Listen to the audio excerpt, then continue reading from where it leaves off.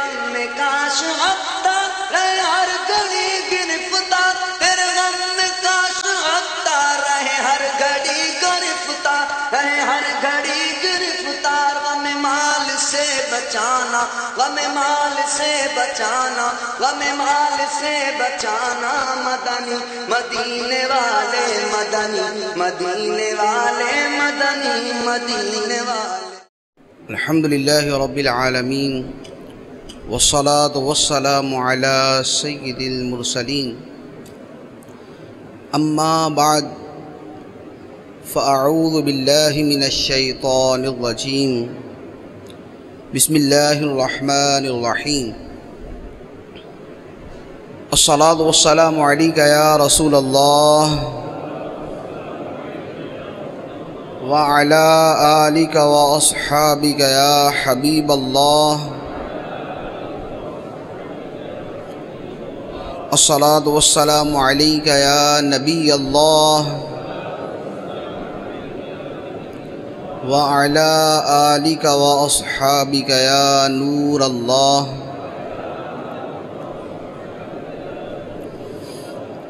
سرکار دو عالم نور مجسم صلی اللہ تعالی علیہ وآلہ وسلم کا فرمان عالی شان ہے،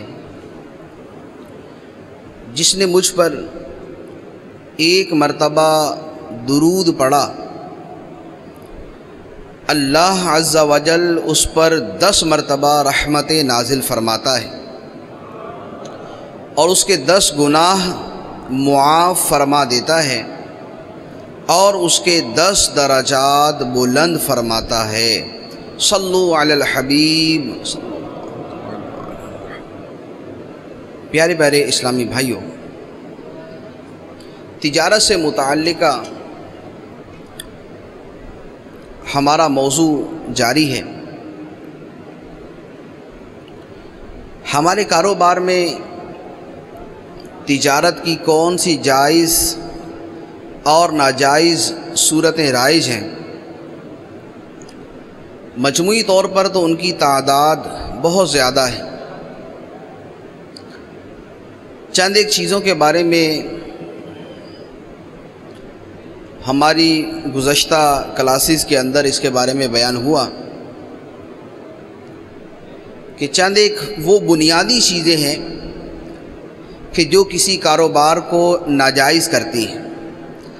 اب آگے اس کی ڈیٹیل کیا ہے اور کن کن صورتوں میں ان غلطیوں کو اختیار کیا جاتا ہے، اسے اگر تھوڑی سی توجہ دیں تو ہم خود بھی سمجھ سکتے ہیں۔ جیسے مثال کے طور پہ کاروبار میں دھوکہ دینا حرام۔ اب دھوکہ دینے کی کتنی صورتیں ہیں، یہ تاجر خود سمجھ سکتا ہے کہ میں کہاں کس کو دھوکہ دے رہا ہوں، کس سے میں جھوٹ بول رہا ہوں، کس سے میں خیانت کر رہا ہوں۔ میں کتنا ملاوٹ کا مال بیچ رہا ہوں۔ تو اب یہ چند جو اصولی باتیں ہیں، اگر ان کو ذہن میں رکھیں تو بہت ساری ناجائز اور حرام صورتیں ہمیں خود بخود سمجھ آ جائیں گی تو چند ایک ناجائز صورتیں عرض کرتا ہوں۔ ان میں بہت سارے وہ وہ صورتیں بھی ہیں جو ہمارے اسلامی بھائیوں کے ذہن میں آتی ہیں اور بکثرت ان کے متعلق سوالات کیے جاتے ہیں۔ اکثر و بیشتر سوال ہوتے ہیں کہ کاروبار کی اس صورت کے بارے میں کیا حکم ہے۔ تو ان سوالات کے جوابات بھی انشاءاللہ عز و جل آج کے اس درس میں ہوں گے۔ ایک سوال ہے کہ کتنا زیادہ مال کمایا جا سکتا ہے؟ کتنا مال ہم کما سکتے ہیں؟ ایک لاکھ، دس لاکھ، ایک کروڑ، اس سے سو گنا زیادہ کتنا مال کمانا جائز ہے؟ دوسرا یہ ہے کہ ہر وقت مال جمع کرنے کی فکر میں لگا رہنا کیسا ہے؟ ہر وقت مال جمع کرنے کی فکر میں لگا رہنا کیسا ہے؟ اور قلیل رزق پر قناعت نہ کرنا، قلیل رزق پر قناعت نہ کرنا، بے صبری کا مظاہرہ کرنا یہ کیسا ہے؟ تو کتنا مال جمع کیا جا سکتا ہے؟ اور ہر وقت جمع مال کی فکر میں لگا رہنا کیسا ہے؟ ترک قناعت کا کیا حکم ہے؟ اس کے بارے میں عرض یہ ہے کہ اللہ عز و جل نے ہمیں حلال و حرام کی حدود بیان فرما دی۔ یہ صورت حلال ہے اور یہ صورت حرام۔ اب حلال کے دائرے کے اندر رہتے ہوئے اگر کوئی شخص مال کماتا ہے، حلال کے دائرے میں رہتے ہوئے اگر کوئی شخص مال کماتا ہے، تو اس کی کوئی حد بندی نہیں ہے کہ وہ اتنا مال کما سکتا ہے اور اس سے زیادہ نہیں کما سکتا۔ جیسے مثال کے طور پہ ایک آدمی نہ سود کھاتا ہے، نہ رشوت لیتا ہے نہ دھوکہ دیتا ہے، نہ جھوٹ بولتا ہے، نہ ملاوٹ کرتا ہے، نہ وعدہ خلافی کرتا ہے۔ اسی طرح جو مال اللہ عز و جل اس کو عطا فرماتا ہے، اس مال سے زکوٰۃ بھی ادا کرتا ہے۔ دیگر رشتہ داروں کے جو حقوق واجبہ ہیں وہ بھی ادا کرتا ہے۔ جو صدقات واجبہ ہیں وہ بھی ادا کرتا ہے۔ جیسے کفارات ہیں، صدقہ فطر ہے، قربانی ہے، حج لازم ہے۔ حج لازم ہوا، وہ کرتا ہے، سال کے سال زکوٰۃ دیتا ہے۔ اگر جو حقوق واجبہ ہیں، وہ ادا کرتا ہے۔ اور بوقت ضرورت، جہاں جہاں خرچ کرنے کا شریعت حکم دیتی ہے، اس حکم پر عمل کرتا ہے۔ تو اس کے لیے مال کمانے کی کوئی حد نہیں ہے۔ اب وہ کروڑوں کمائے، وہ اربوں روپیہ کمائے، اس میں شرعی اعتبار سے کوئی حرج نہیں۔ تو مال کمانے کی حد یہ ہے کہ حدود شریعت کا لحاظ کیا جائے۔ مال کمانے کی حد یہ ہے کہ حدود شریعت کا لحاظ کیا جائے اور اس مال کے متعلق جو شریعت کے احکام ہیں ان کو پورا کیا جائے۔ اگر ان دو چیزوں کا کوئی آدمی خیال رکھتا ہے تو اس کے لیے مال کمانے کی کوئی حد نہیں۔ اور دوسری بات کہ ہر وقت مال کمانے کی فکر میں لگے رہنا۔ ہر وقت مال کمانے کی فکر میں لگے رہنا اس کے بارے میں قلیل روزی پر قناعت نہ کرنا اور ہر وقت اسی کا رونا روتے رہنا۔ ایک تو اس میں ترک توکل کی صورت ہے کہ اللہ عز و جل پر توکل کا جو تقاضا ہے وہ یہ ہے کہ آدمی بے صبری اور ناشکری کا مظاہرہ نہ کرے۔ قلیل روزی پر قناعت اختیار کرے۔ اور بے قراری اور شکوہ و شکایت کو اپنا وطیرہ نہ بنائے۔ ہر وقت یہ روتے رہنا، گزارا نہیں ہو رہا، مر گئے، لٹ گئے، یہ ہو گیا، وہ ہو گیا۔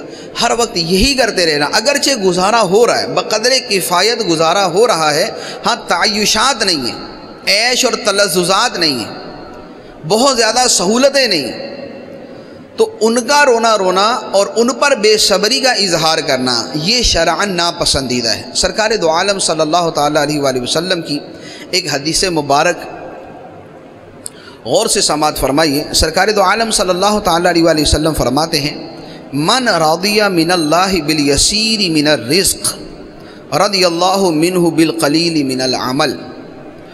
جو اللہ کے دیے ہوئے تھوڑے رزق پر اللہ سے راضی رہتا ہے، جو اللہ کے دیے ہوئے تھوڑے رزق پر اللہ سے راضی رہتا ہے اللہ تعالیٰ اس کے کیے ہوئے تھوڑے عمل پر اس سے راضی ہو جاتا ہے۔ جو اللہ کے دیے ہوئے تھوڑے رزق پر اللہ سے راضی ہے، اللہ تعالیٰ اس کے تھوڑے عمل پر اس سے راضی ہو جاتا ہے۔ تو اس لیے قلیل رزق ہے تو قناعت اختیار کریں۔ بے صبری، شکوہ و شکایت، اور اس کی وجہ سے ہر وقت مال جمع کرنے میں مصروف رہنا۔ یہ شرعن ناپسندید ہے۔ پھر اس میں ایک اور چیز بھی ہے کہ مال جمع کرنے میں ایک اور حد، وہ یہ ہے کہ مال جمع کرنے کی وجہ سے کسی ناجائز کام کا ارتکاب نہ کرنا پڑے اور کسی فرد یا واجب کا ترک اس سے لازم نہ آئے۔ کسی فرد یا واجب کا ترک اس سے لازم نہ آئے۔ اگر کاروبار میں ایسی محویت ہے، کاروبار میں ایسا مصروف ہے، اس کی نماز چھوٹ جاتی ہے، جماعت واجب ہونے کی صورت میں اس کی جماعت نکل جاتی ہے، یا اس پر دیگر احکام شرح لازم ہوتے ہیں اور وہ اس سے چھوٹ رہے ہیں، تو ایسی مال کی محبت اور ایسی مال کی تلاش حرام ہے۔ جس کام کی وجہ سے فرض چھوٹ جائے اب خواہ وہ گپے مارنے کی وجہ سے فرض چھوٹا خواہ وہ کاروبار کی وجہ سے فرض چھوٹا خواہ وہ روزی کمانے کی وجہ سے فرض چھوٹا جس کی وجہ سے فرد یا واجب ترک ہو جائے، وہ کام بذات خود ناجائز ہو جاتا ہے۔ امام اہل سنت، مجدد دین و ملت مولانا شاہ امام احمد رضا خان علی رحمۃ الرحمٰن نے فتح رضویہ شریف میں اس کی کئی مثالیں بیان فرمائیں۔ حتیٰ کہ یہاں تک ارشاد فرمایا کہ دنیاوی تعلیم میں ایسا مگن ہونا کہ اس کی وجہ سے ضروری دینی تعلیم چھوٹ جائے۔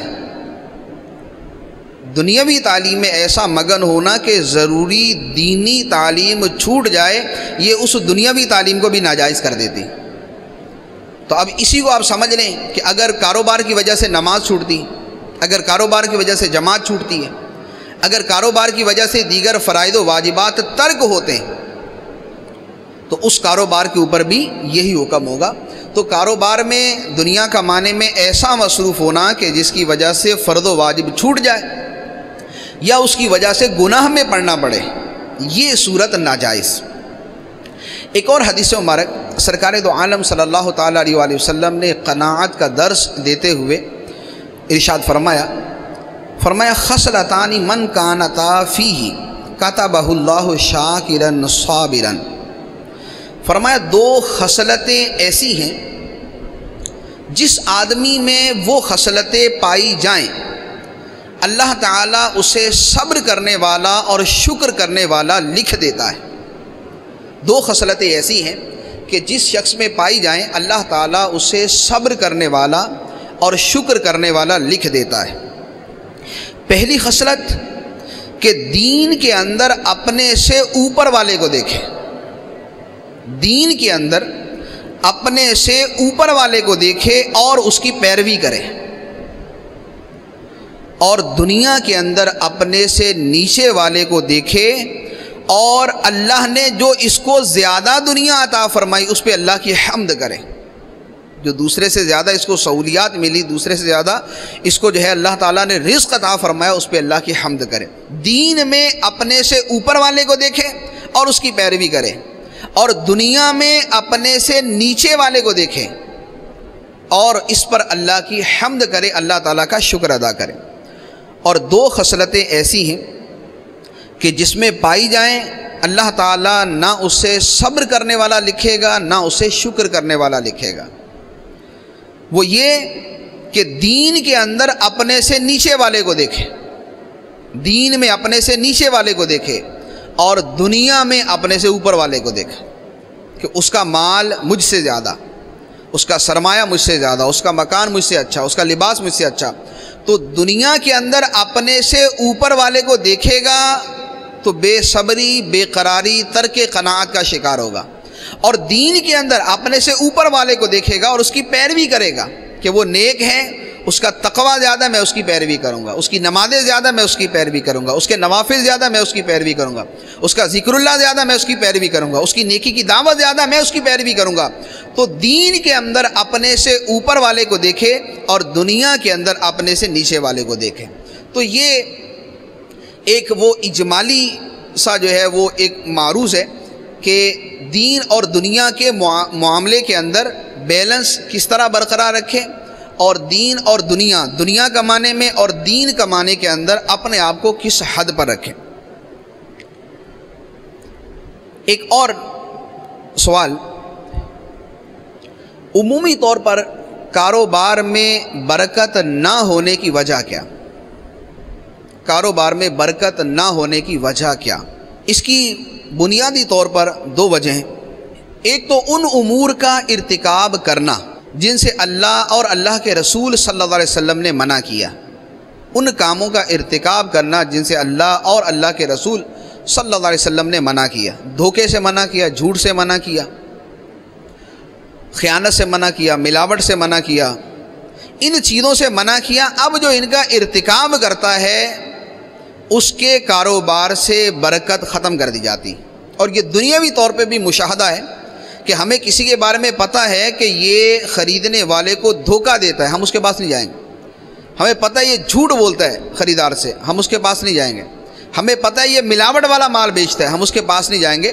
تو جن کاموں سے اللہ اور اللہ کے رسول صلی اللہ علیہ وسلم نے منع کیا ہے، ان کاموں کا ارتکاب جو کرے گا، اس کے کاروبار میں، اس کے رزق میں برکت نہیں رہے گی۔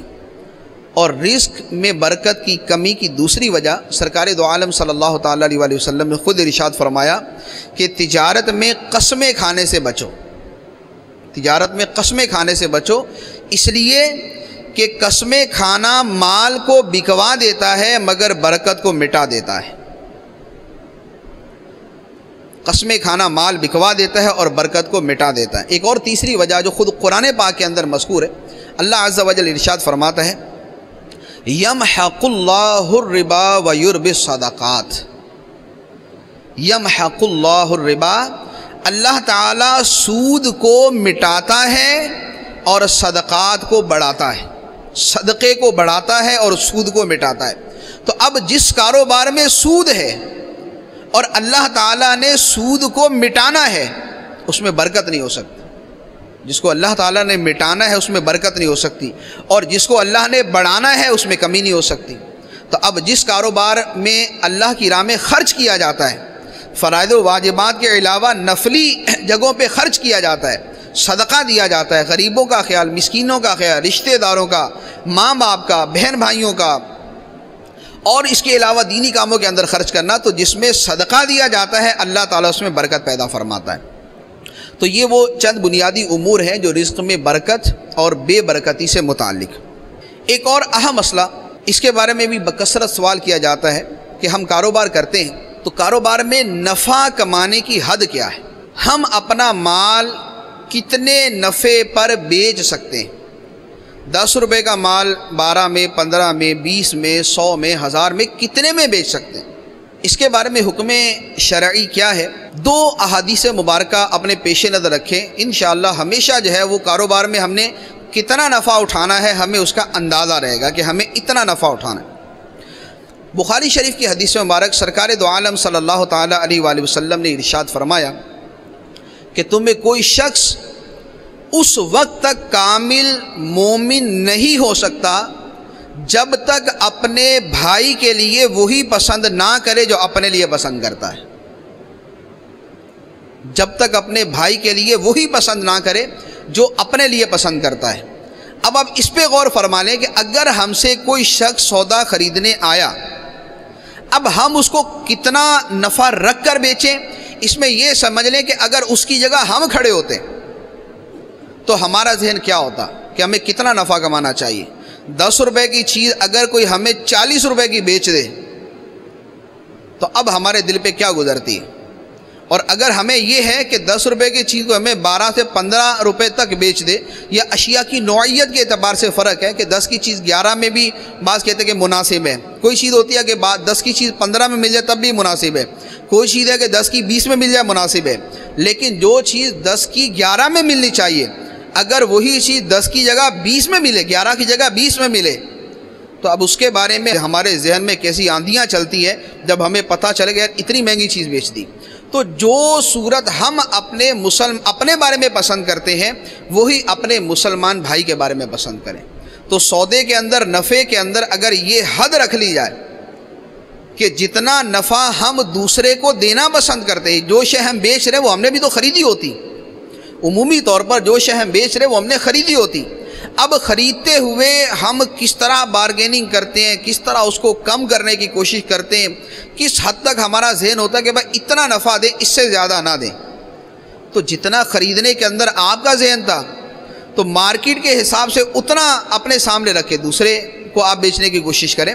تو نفع کے اندر مناسب حد یہ ہے کہ جتنے میں ہم خود خریدنا پسند کرتے ہیں یعنی اگر ہول سیل ہے یا ریٹیل کے اندر ہے، جو بھی صورت ہے، تو جتنا نفع ہم دوسرے کو دینا پسند کرتے ہیں، اتنے نفع کے اوپر ہم آگے بیچنے کی کوشش کریں۔ ایک بات، دوسری بات یہ کہ تجارت کا معاملہ یہ نہیں ہے کہ دین، دینداری، تقوی، پرہیزگاری، خوف خدا، مسلمانوں کے ساتھ خیر خواہی، مسلمانوں سے محبت، ان کی مشکلات دور کرنا، ان کی پریشانی دور کرنا، یہ صرف کاروبار کے علاوہ معاملات میں کاروبار کے اندر بھی مسلمان سے خیر خواہی کرنا، مسلمان کی بہتری چاہنا، اسے نقصان سے پہنچانا، یہ کاروبار کے اندر بھی۔ آخر جھوٹ، خیانت، دھوکہ، ملاوٹ یہ حرام کیا تو کیوں؟ اس لیے کہ مسلمان کو نقصان پہنچے گا اس سے۔ تو مسلمان کی خیر خواہی جو ہے، یہ کاروبار میں مقصود ہونی چاہیے۔ اب تجارت کے اندر اگر کوئی دوسرے کی خیر خواہی کرتا ہے اور مسلمان کے ساتھ حسن سلوک کرتا ہے تو اس کا نفع کیا ہے؟ ایک حدیث و مبارک سنیے۔ سرکار دو عالم صلی اللہ تعالیٰ علیہ وآلہ وسلم نے ارشاد فرمایا، مسلم شریف کی حدیث فرمایا کہ پچھلی امتوں میں ایک شخص کی موت کا وقت آیا۔ فرشتے اس کی روح قبض کرنے آئے۔ اب جب اس کی روح قبض کرنے لگے تو اس سے کہا کہ تم نے زندگی میں کوئی نیکی کی ہو تو بتاؤ۔ زندگی میں کوئی نیکی کی ہو تو بتاؤ۔ اس نے کہا، یاد نہیں۔ مجھے یاد نہیں کہ میں نے زندگی میں کوئی نیکی کی ہو۔ اور جو یہ مرنے والا شخص تھا، وہ تھا تاجر، تجارت کرتا تھا۔ فرشتوں نے کہا، یاد کرو، کوئی نیکی کی ہو۔ اس نے کہا، نہیں، کوئی نہیں۔ پھر فرشتوں نے کہا، نہیں، کوئی مزید یاد کرو، کوئی نیکی کی ہو۔ تو اس نے کہا ہاں ایک بات مجھے یاد ہے کہ میں نے اپنے ملازموں کو یہ کہہ رکھا تھا اگر کوئی سودا خرید کے جائے اور وہ تنگ دست ہو، تنگ دست ہو تو اس کو اس کا قرضہ معاف کر دینا، قیمت ہی معاف کر دینا۔ اور اگر فراخ دست ہے یعنی وہ رقم دے سکتا ہے بآسانی بخوشی اپنا قرض چکا سکتا ہے، تو اس کے ساتھ نرمی کا معاملہ کرنا۔ تنگ دست کو معاف کر دینا اور فراخ دست کے ساتھ نرمی کا معاملہ کرنا۔ جب اس آدمی نے یہ جواب دیا تو اللہ عز و جل نے فرشتوں سے ارشاد فرمایا کہ یہ بندہ بندہ ہو کر میرے بندوں سے نرمی کا معاملہ فرماتا ہے۔ میں اس سے زیادہ حقدار ہوں کہ میں اس کے ساتھ نرمی نرمی کا معاملہ فرماؤں۔ اے فرشتوں اس کی روح قبض کر کے اس کو جنت میں لے جاؤں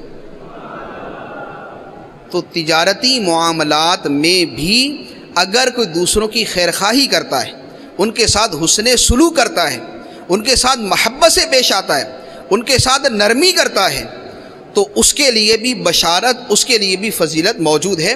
تو یہ کہ نفع کمانے کے اندر اور تجارتی معاملات کے اندر دینداری کی اس صورت کو بھی اپنے پیش نظر رکھنا چاہیے کہ ہم نے ہر ایک کے ساتھ خیر خواہی کا معاملہ کرنا ہے۔ حدیث مبارک ہے کہ دین خیر خواہی کا ہی نام ہے۔ دین خیر خواہی کا ہی نام۔ ہے تو عرض کیا کس کے ساتھ؟ فرمایا اللہ کے ساتھ، اللہ کے رسول کے ساتھ۔ مسلمانوں کے حکمرانوں کے ساتھ اور تمام مسلمانوں کے ساتھ۔ تو تمام مسلمانوں کے ساتھ خیر خواہی کرنا یہ ہمارے دین کا حصہ ہے۔ یہ ہمارے دین کی اہم چیز ہے۔ تو تجارت کے اندر نفع کماتے ہوئے، بات چیت کرتے ہوئے، لین دین کرتے ہوئے، بارگیننگ کرتے ہوئے نرمی کا ہی معاملہ اختیار کرنا چاہیے۔ بعض کی عادت ہوتی ہے کہ اچھا کما رہے تو اس کو پرواہ نہیں ہوتی۔ لوگوں کو آنا ہی آنا اس کے بعد۔ جیسے مارکیٹ کے اندر ایک ہی آدمی ہے جو وہ چیز بیچتا ہے۔ اب اس کی اکڑ جو ہے وہ اتنی اوپر ہوتی ہے کہ وہ نیچے آنے کا نام ہی نہیں لیتی۔ گاہک سے سیدھے منہ بات کرنا اس کی عادت ہی نہیں۔ اس کو پتہ ہے میرے پاس آنا ہی آنا ہے، ضرورت ہے اس کی۔ تو اب وہ سودے کی، اس سے بات کی، اس نے جیسے ہی کہا نا، بھائی صاحب دو روپے کم کر دے بھائی، چلو چلو، نکلو یہاں سے۔ تو یہ سختی کرنا، یہ اکڑ پن بعض صورتوں میں تو تکبر کے اندر آئے گا ویسے ہی حرام ہوگا۔ اور پھر کسی کی دل آزاری کرنا، یہ دوسرا حرام ہوگا۔ اور بال فرض اگر ایسی شک ہے کہ نہ تکبر ہے، نہ دل آزاری کی صورت ہے کہ سختی اتنی کیا کہ حد شرح کے اندر ہے، تب بھی نرمی کرنے کی فضیلت ہو گئی۔ تو جو نرمی، پیار اور محبت اور اخلاق کے ساتھ کیا جا سکتا ہے، تو وہ سختی اور جو ہے وہ تکلیف دہ طرز عمل کے ساتھ کیوں کیا جائے؟ اللہ تعالیٰ نے جو برکت نرمی میں رکھی ہے، وہ سختی کے اندر نہیں رکھی۔ جس شے میں نرمی آتی ہے، اس کو مزین کر دیتی ہے۔ اور جس شے میں سختی آتی ہے، اس کو عیب دار کر دیتی۔ تو تجارت کے اندر، نفع کے اندر، بارگیننگ کے اندر بات چیت کرتے ہوئے، سودا خریدتے ہوئے، بیچتے ہوئے، ایک اہم دینی عنصر یہ ہے کہ نرمی، مسامحت، محبت اور اخلاق کے ساتھ بات کی جائے۔ چند وہ تجارت کی صورتیں جو سرکار دو عالم صلی اللہ تعالیٰ علیہ وآلہ وسلم کے زمانے میں رائج تھی ہمارے زمانے میں ان میں اکثر صورتیں تو متروک ہو چکی ہیں، لیکن ان صورتوں میں جو مقصد تھا، سرکار علیہ السلاۃ والسلام نے بعض تجارت کی صورتوں کو منع فرمایا کہ یہ کرنا منع ہے، یہ ناجائز۔ تو اب وہ بےآنی ہی وہ صورت تو ہمارے ہاں بہت چیزیں نہیں پائی جاتی، لیکن ان صورتوں میں جو مقصد تھا، وہ مقصد اب بھی پایا جاتا ہے۔ مثال کے طور پہ، سرکار دو عالم صلی اللہ تعالیٰ علیہ وآلہ وسلم نے تجارت کی دو صورتوں سے منع فرمایا۔ وہ دو صورتیں کیا تھیں؟ عربی میں ایک کا نام ہے بے ملامسہ اور ایک کا نام ہے بے منامزہ۔ بے ملامسہ کیا مثال کے طور پہ ہم کپڑے کی دکان پر گئے جو اس زمانے میں راج صورت تھی۔ کپڑے کی دکان پر گئے۔ اب ہم نے کپڑے دیکھتے ہوئے جس کپڑے کو چھو لیا، اس کپڑے کا سودا ہو گیا۔ نہ اس کو کھول کے دے سکتے ہیں نہ اس میں خرابی نکلی تو اس کو واپس کر سکتے۔ ہیں اس کو بس چھو لینا جو ہے، یہ اس بات کے لیے کافی ہے کہ سودا ہو گیا۔ اس کو عربی میں کہتے تھے، بے ملامسا۔ نبی کریم علیہ السلاۃ والسلام نے اس سے منع فرمایا۔ اسی طرح دوسری صورت، بے منابضہ۔ بے منابضہ یہ ہے کہ آپس میں بات چیت کرتے ہوئے دکاندار نے کپڑا اٹھا کے اگر گاہ کی طرف پھینک دیا تو اس کا سودا ہو گیا۔ یا جو ہے، وہ خریدار نے جو ہے، وہ کینکری اس کے ہاتھ میں دے دیتے تھے۔ تو کینکری مارتا تھا، تو جس کپڑے کے اوپر گر گئی، اس کا سودا ہو گیا۔ اب اس کو کھول کے دیکھنا یا اس کے اندر ایپ پایا جا رہا ہے، اس کا کوئی اعتبار نہیں ہوتا تھا۔ اب ہمارے یہاں یہ صورتیں تو نہیں ہیں، سوائے یہ آخری صورت کے، یہ جو کینکری پھینکنے والی صورت ہے کہ ہمارے یہاں وہ جوئے کے اندر یہ صورت استعمال ہوتی ہے کہ وہ نمائش وغیرہ لگتی ہے تو اس میں بہت ساری چیزیں رکھی ریڈیو رکھا ہوا، موبائل رکھا ہوا، اور چیزیں رکھی ہوئی ہیں۔ اور ایک وہ رنگ سی ملتی ہے، وہ پھینکنی ہوتی ہے۔ تو یہ رنگ پھینکتے ہیں، جس چیز کے اوپر آ گئی تو وہی شے اس کی ہو گئی۔ لیکن یہ صورت جوئے کی ہوتی ہے کہ دس روپے میں ایک مرتبہ رنگ پھینکنا ہے۔ اب اگر کسی شے پر آ گیا تو وہ شے اپنی ہو گئی اور نہیں آیا تو دس روپے گئے۔ تو یہ تو خالص جوئے کی صورت ہوتی ہے۔ یہاں جو ہے یہ تجارت کی صورت۔ تو اب ان صورتوں کے اندر اصل جو ممانعت کی وجہ ہے وہ کیا ہے؟ کہ شریعت نے یہ اختیار دیا ہے کہ خریدنے والا شے کو دیکھے، پرکھے، اس کی خوبی خامی پر مطلع ہو، پھر اپنی خوشی کے ساتھ اس کو خریدے۔ سودا دیکھنا، پرکھنا، اس کے عیب پر مطلع ہونا، یہ خریدار کا حق ہے۔ اب یہ کینکری پھینک دینے کی صورت میں، کپڑا چھو لینے کی صورت میں یا کپڑا پھینک دینے کی صورت میں یہ حق ختم ہو گیا۔ تو اب ہمارے ہاں رائج صورتوں کے اندر کسی آدمی نے بن دیکھے کوئی شے خرید لی۔ بن دیکھے کوئی شے خریدی تو دیکھنے کے بعد اسے اختیار حاصل ہے کہ اسے رکھے یا اسے نہ رکھے۔ یہ شریعت نے خیار رویت دیکھنے کا اختیار دیا ہے۔ یہ دیکھنے کا اختیار ہے۔ ایک دوسری بات کہ وہاں یہ تھا کہ اب جو شے جس کو چھو لیا یا جس کو پھینک دیا، اس کو پکڑ لیا تو اس کا سودا ہو گیا، خواہ اس کے اندر سو عیب نکل آئیں۔ ہمیں شریعت نے اختیار دیا ہے کہ اگر سودے میں عیب نکلے گا تو خریدار کو اختیار ہوگا کہ اس کو واپس کریں۔ اب یہ اختیار جو ہے، یہ اس صورت میں باقی نہیں تھا۔ اب یہ اختیار والی صورت ہمارے زمانے میں موجود ہے۔ کہ ہمارے زمانے میں وہ صورت نہ بھی ہو تو جو بھی صورت کاروبار کی ہے، اگر اس میں سودے میں، سامان میں، بعد میں عیب نکلتا ہے کہ وہ خرابی نکلتی، تو اس کی وجہ سے خریدار کو واپس کرنے کا اختیار ہوگا۔ تو یہ اختیار جو ہے، یہ ہمارے زمانے کے اندر بھی باقی۔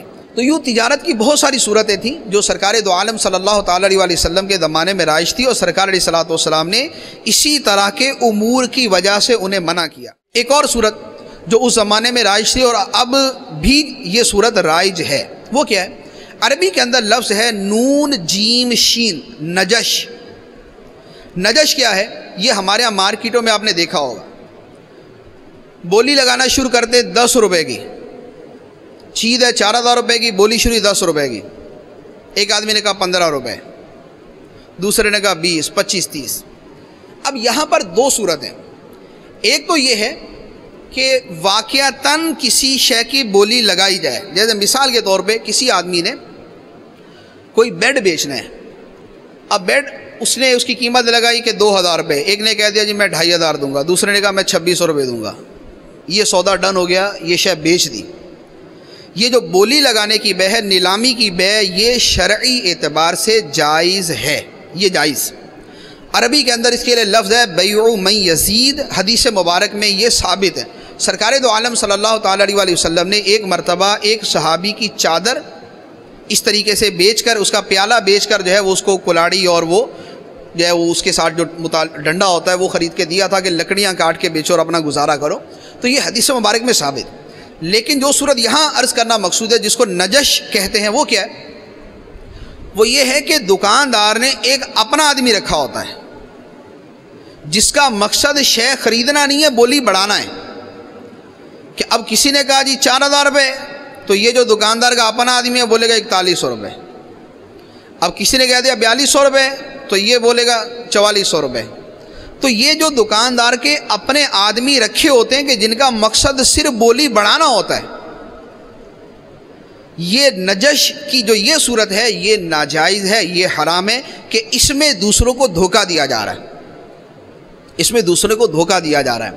تو جہاں پر دھوکے کی صورت ہے کہ چیز کی قیمت ہے چار ہزار روپے اور یہ اپنا آدمی رکھ کر اس کی قیمت بڑھائی جا رہی ہے کہ پانچ ہزار تک پہنچا دیں، ساڑھے پانچ تک پہنچا دیں، چھ ہزار تک پہنچا دیں، یہ دھوکہ دینے کے لیے جو آدمی رکھا ہوا یہ آدمی رکھنا حرام، اس آدمی کا یہ فیل کرنا حرام۔ تو یہ مہذب، غیر مہذب دونوں طرح کے تاجروں کے اندر پایا جاتا ہے یعنی بالکل ہی بازاری قسم کے جو تاجر ہیں، ان میں بھی ہے اور بڑے بڑے معززین کے جو دفتر میں بیٹھے ہوتے ہیں اور فون کے اوپر کروڑوں کی تجارت کر رہے ہیں، تو وہ بھی اس طریقے سے کرتے ہیں کہ بیٹھے ہوئے کسی کو کہا ہوا کہ بھائی پارٹی آئے گی تو فون کے اوپر مجھ سے بات کرنا کہ یہ چیز جو ہے نا وہ اتنے کی میں خریدنا چاہتا ہوں۔ تو میں اس سے بات کروں گا کہ نہیں بھائی پارٹی ایک بیٹھی ہوئی ہے تو میں اس سے بات چیت کر رہا ہوں، تو میں ان سے بات کر لوں اس کے بعد۔ پھر بولتے دیکھیں بھائی صاحب، دوسری پارٹی کا فون آ گیا، وہ تو دس لاکھ میں لینے پہ راضی آپ بتائیے۔ تو یہ بڑے بڑے جو ہے وہ دفتروں کے اندر بھی یہ صورت جو ہے یہ پائی جاتی ہے کہ بولی بڑھانے کے لیے خود اپنا آدمی رکھا ہوا ہوتا ہے۔ تو یہ نجش، یہ جو صورت ہے، یہ حرام ہے، یہ کرنا ناجائز۔ اسی طرح ایک اور صورت، سرکار دو عالم صلی اللہ تعالیٰ علیہ وآلہ وسلم نے فرمایا کہ قرض اور تجارت، قرض اور تجارت دونوں کو اکٹھا کرنا ناجائز ہے۔ قرض اور تجارت دونوں کو اکٹھا کرنا ناجائز۔ اس کی صورت کیا یہ سمجھ سن لیجیے۔ ایک آدمی کو کوئی شے بیچ رہے ہیں اور اس شرط پر بیچتے ہیں کہ تمہیں یہ شے اس شرط پہ بیچتا ہوں کہ تم مجھے اتنا قرضہ دو۔ تو یہ جو نفع ہے، یہ سودا بیچنا جو ہے، یہ قرض کے اوپر مشروط ہے۔ یہ صورت ناجائز۔ ہمارے یہاں اس کی کیا صورت پائی جاتی ہے؟ وہ آپ ذہن میں رکھیں۔ ہمارے یہاں آڑتیوں کا کام ہوتا ہے۔ آڑتی جو سبزیاں اور جو ہے پھل، فصلیں، گندم، یہ وہ مارکیٹ کے اندر آڑتی ہوتے ہیں، یہ خریدتے ہیں۔ اور بھی بہت ساری چیزوں میں آڑت ہوتی ہے۔ اب آڑتی کیا کرتے ہیں کہ کسان کو بیج کی رقم دیتے ہیں۔ کہ بھائی تمہیں یہ پچیس ہزار روپے ہم نے کھاد اور بیج کے قرض دیے۔ لیکن شرط یہ ہے کہ اپنی فصل بیچنی ہمیں۔ اپنی فصل بیچو گے ہمیں۔ یہ قرض دیا اور اس کے اوپر شرط یہ ہے، بعض اوقات شرط زبانی جو ہے وہ بول دیتے ہیں، بعض اوقات بولتے نہیں ہیں، لیکن طے ہوتی ہے کہ اس نے دینا ہی ہے۔ یعنی یہ اندرون خانہ طے ہوتا ہے یہ، کہ اس نے دینی ہے۔ تو یہ جو قرض دیا اس شرط پر کہ تم نے اپنا مال ہمیں ہی بیچنا ہے، یہ شرط لگانا یہ ناجائز ہے۔ یہ اسی قرض پر نفع اٹھانے کے مترادف ہے، یہ سود ہے، یہ حرام۔ اب اسی کے اوپر آپ اور بہت ساری صورتیں جو ہے وہ کر سکتے ہیں کہ کسی آدمی نے کوئی بھی کاروبار کرنا ہے، اس کو قرض دیا کہ ٹھیک ہے بھائی، آپ جو ہے وہ اپنا سودا خریدیں، کام کریں، لیکن شرط یہ ہے کہ آپ یہ سودا بیچیں گے مجھے۔ جیسے کسی جگہ سے آدمی نے کوئی مال منگوانا ہے، اب وہ خود منگوا نہیں سکتا مصروفیت کی وجہ سے یا کسی بھی وجہ سے، دوسرے کو پیسے دیے کہ تم مال منگواؤ، لیکن مال منگوانے کے بعد بیچنا مجھے۔ تو یہ شرط رکھنا کہ تمہیں قرض اس شرط پر دیتا ہوں۔ کہ تم اپنا مال مجھے ہی بیچو گے یہ شرط رکھنا ناجائز و حرام اور یہ سود کے زمرے میں داخل ہے۔ تو اب اس سے متعلقہ ملتی جلتی جتنی صورتیں وہ آپ خود سمجھ لیں کہ قرض دیتے ہوئے کوئی بھی شرط لگانا، یہ دو تین صورتیں میں نے عرض کی ہیں۔ اب اپنے اپنے کاروبار کے اعتبار سے سمجھ لیں کہ قرض دے کر اس طرح کی شرط لگانا، جہاں پر بھی قرض دے کر نفع اٹھانا پایا جائے گا، وہاں پر سود پایا جائے گا اور وہ صورت حرام ہوگی۔ تجارت کی ناجائز صورتوں میں بہت زیادہ پائی جانے والی صورت کہ عیب دار شے کو بغیر عیب بتائے بیچنا۔ عیب دار شے کو بغیر عیب بتائے بیچنا۔ صدر الشریعہ بدر الطریقہ مولانا امجد علی آدمی رحمۃ اللہ علیہ بہار شریعت کے گیارہویں حصے میں ارشاد فرماتے کہ عیب دار شے کو بغیر عیب بتائے بیچنا حرام اور گناہ کبیرہ ہے۔ حرام اور گناہ کبیرہ ہے۔ سرکار دو عالم صلی اللہ تعالیٰ علیہ وسلم نے فرمایا کہ جس نے عیب دار شے کو بیچا اور اس کے عیب کو ظاہر نہ کیا، وہ ہمیشہ اللہ تعالیٰ کی ناراضگی میں رہے گا۔ اور ایک دوسری روایت میں ہے کہ جس نے عیب دار شے کو بیچا اور اس کے عیب کو ظاہر نہ کیا، اس پر ہمیشہ اللہ کے فرشتے لانت کرتے رہتے ہیں۔ ایک اور حدیث مبارک سرکار دو عالم صلی اللہ تعالیٰ علیہ وسلم نے فرمایا کہ مسلمان مسلمان کا بھائی ہے۔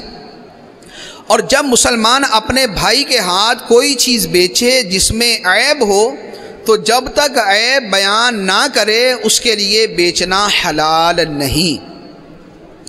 ایک اور مشہور روایت، نبی کریم صلی اللہ تعالیٰ علیہ وسلم غلے کی ایک ڈھیری کے پاس سے گزرے۔ اس میں ہاتھ ڈالا تو اس میں تری محسوس ہوئی۔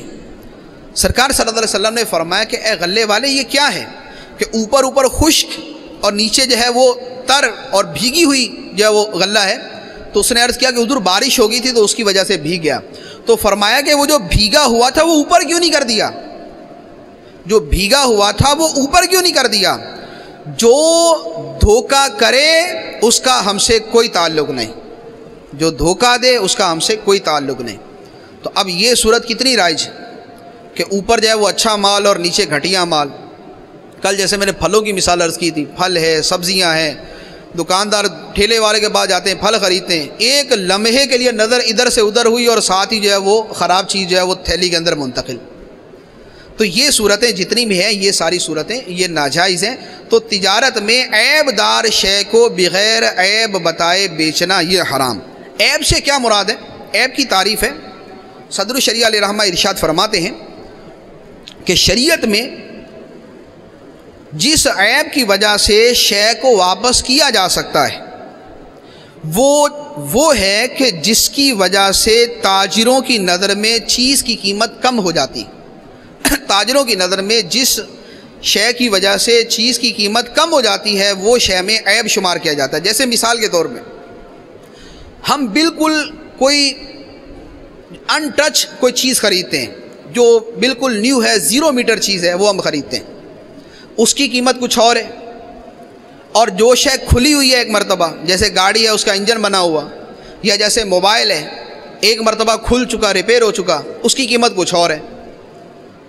تو اب یہ چیز کا کھل جانا، الیکٹرانکس کی اگر چیزیں ہیں، اس چیز کا کھل جانا جو ہے، یہ اس کے اندر عیب ہے۔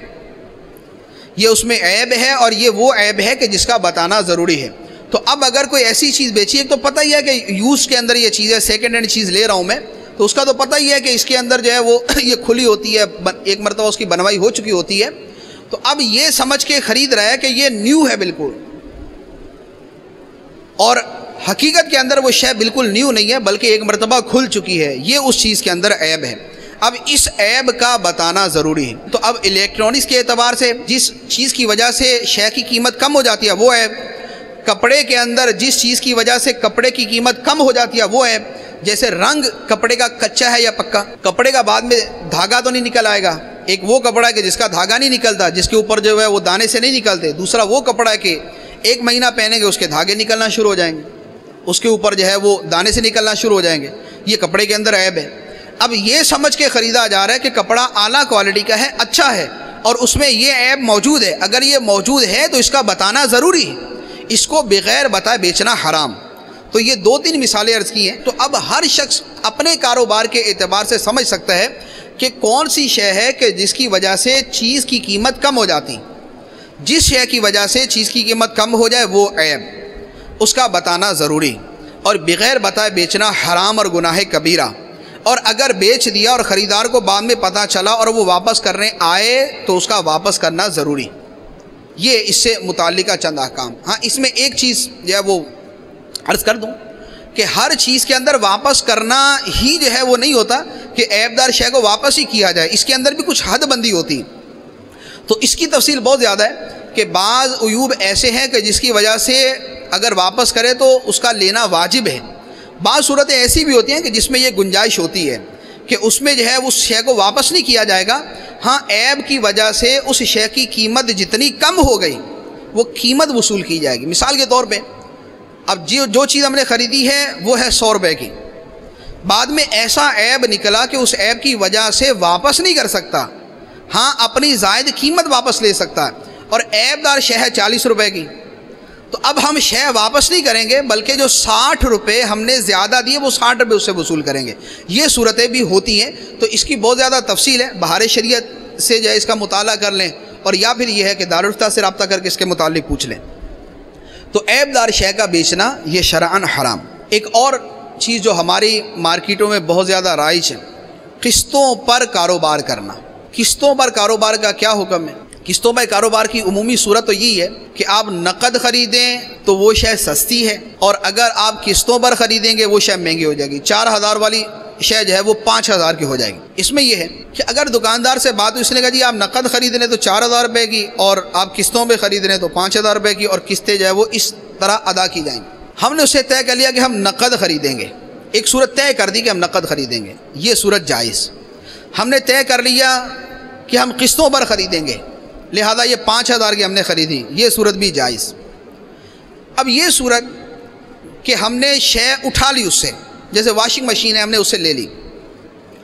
اب واشنگ مشین لے لی اور اسے یہ نہیں طے کیا کہ ہم آپ سے نقد لے رہے ہیں یا ہم آپ سے قسطوں پر لے رہے ہیں۔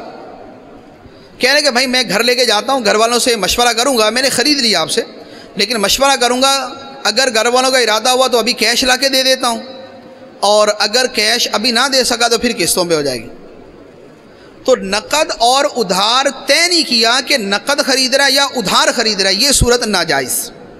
یعنی قسطوں پر کاروبار میں یہ ضروری ہے کہ وہیں بیٹھے بیٹھے یہ طے ہو جائے کہ یہ خریدنے والا نقد خرید رہا ہے، ابھی کیش لا کے دے دے گا، یا یہ خریدنے والا ادھار خرید رہا ہے اور قسطوں میں ادائیگی کرے گا۔ تو اگر نقد اور ادھار دونوں میں کسی صورت کو طے نہ کیا تو یہ صورت ناجائز۔ اور ایک صورت کو متعین کر دیا کہ میں یوں خرید رہا ہوں، تو پھر یہ صورت جائز۔ اب قسطوں کا کاروبار فی نفس ہی تو جائز، لیکن اس میں چند چیزوں کا مزید خیال رکھنا ضروری ہے۔ اگر ان میں کوئی شے پائی گئی، تو یہی جو جائز صورت تھی، یہ ناجائز بھی ہو سکتی ہے۔ یہ ناجائز ہو جائے۔ مثال کے طور میں اگر وقت پر قسط ادا نہ کی تو جرمانہ دینا پڑے گا۔ ایک مہینے قسط ادا نہ کی تو پانچ ہزار کی جگہ پانچ ہزار ایک سو روپیہ دینا پڑے گا۔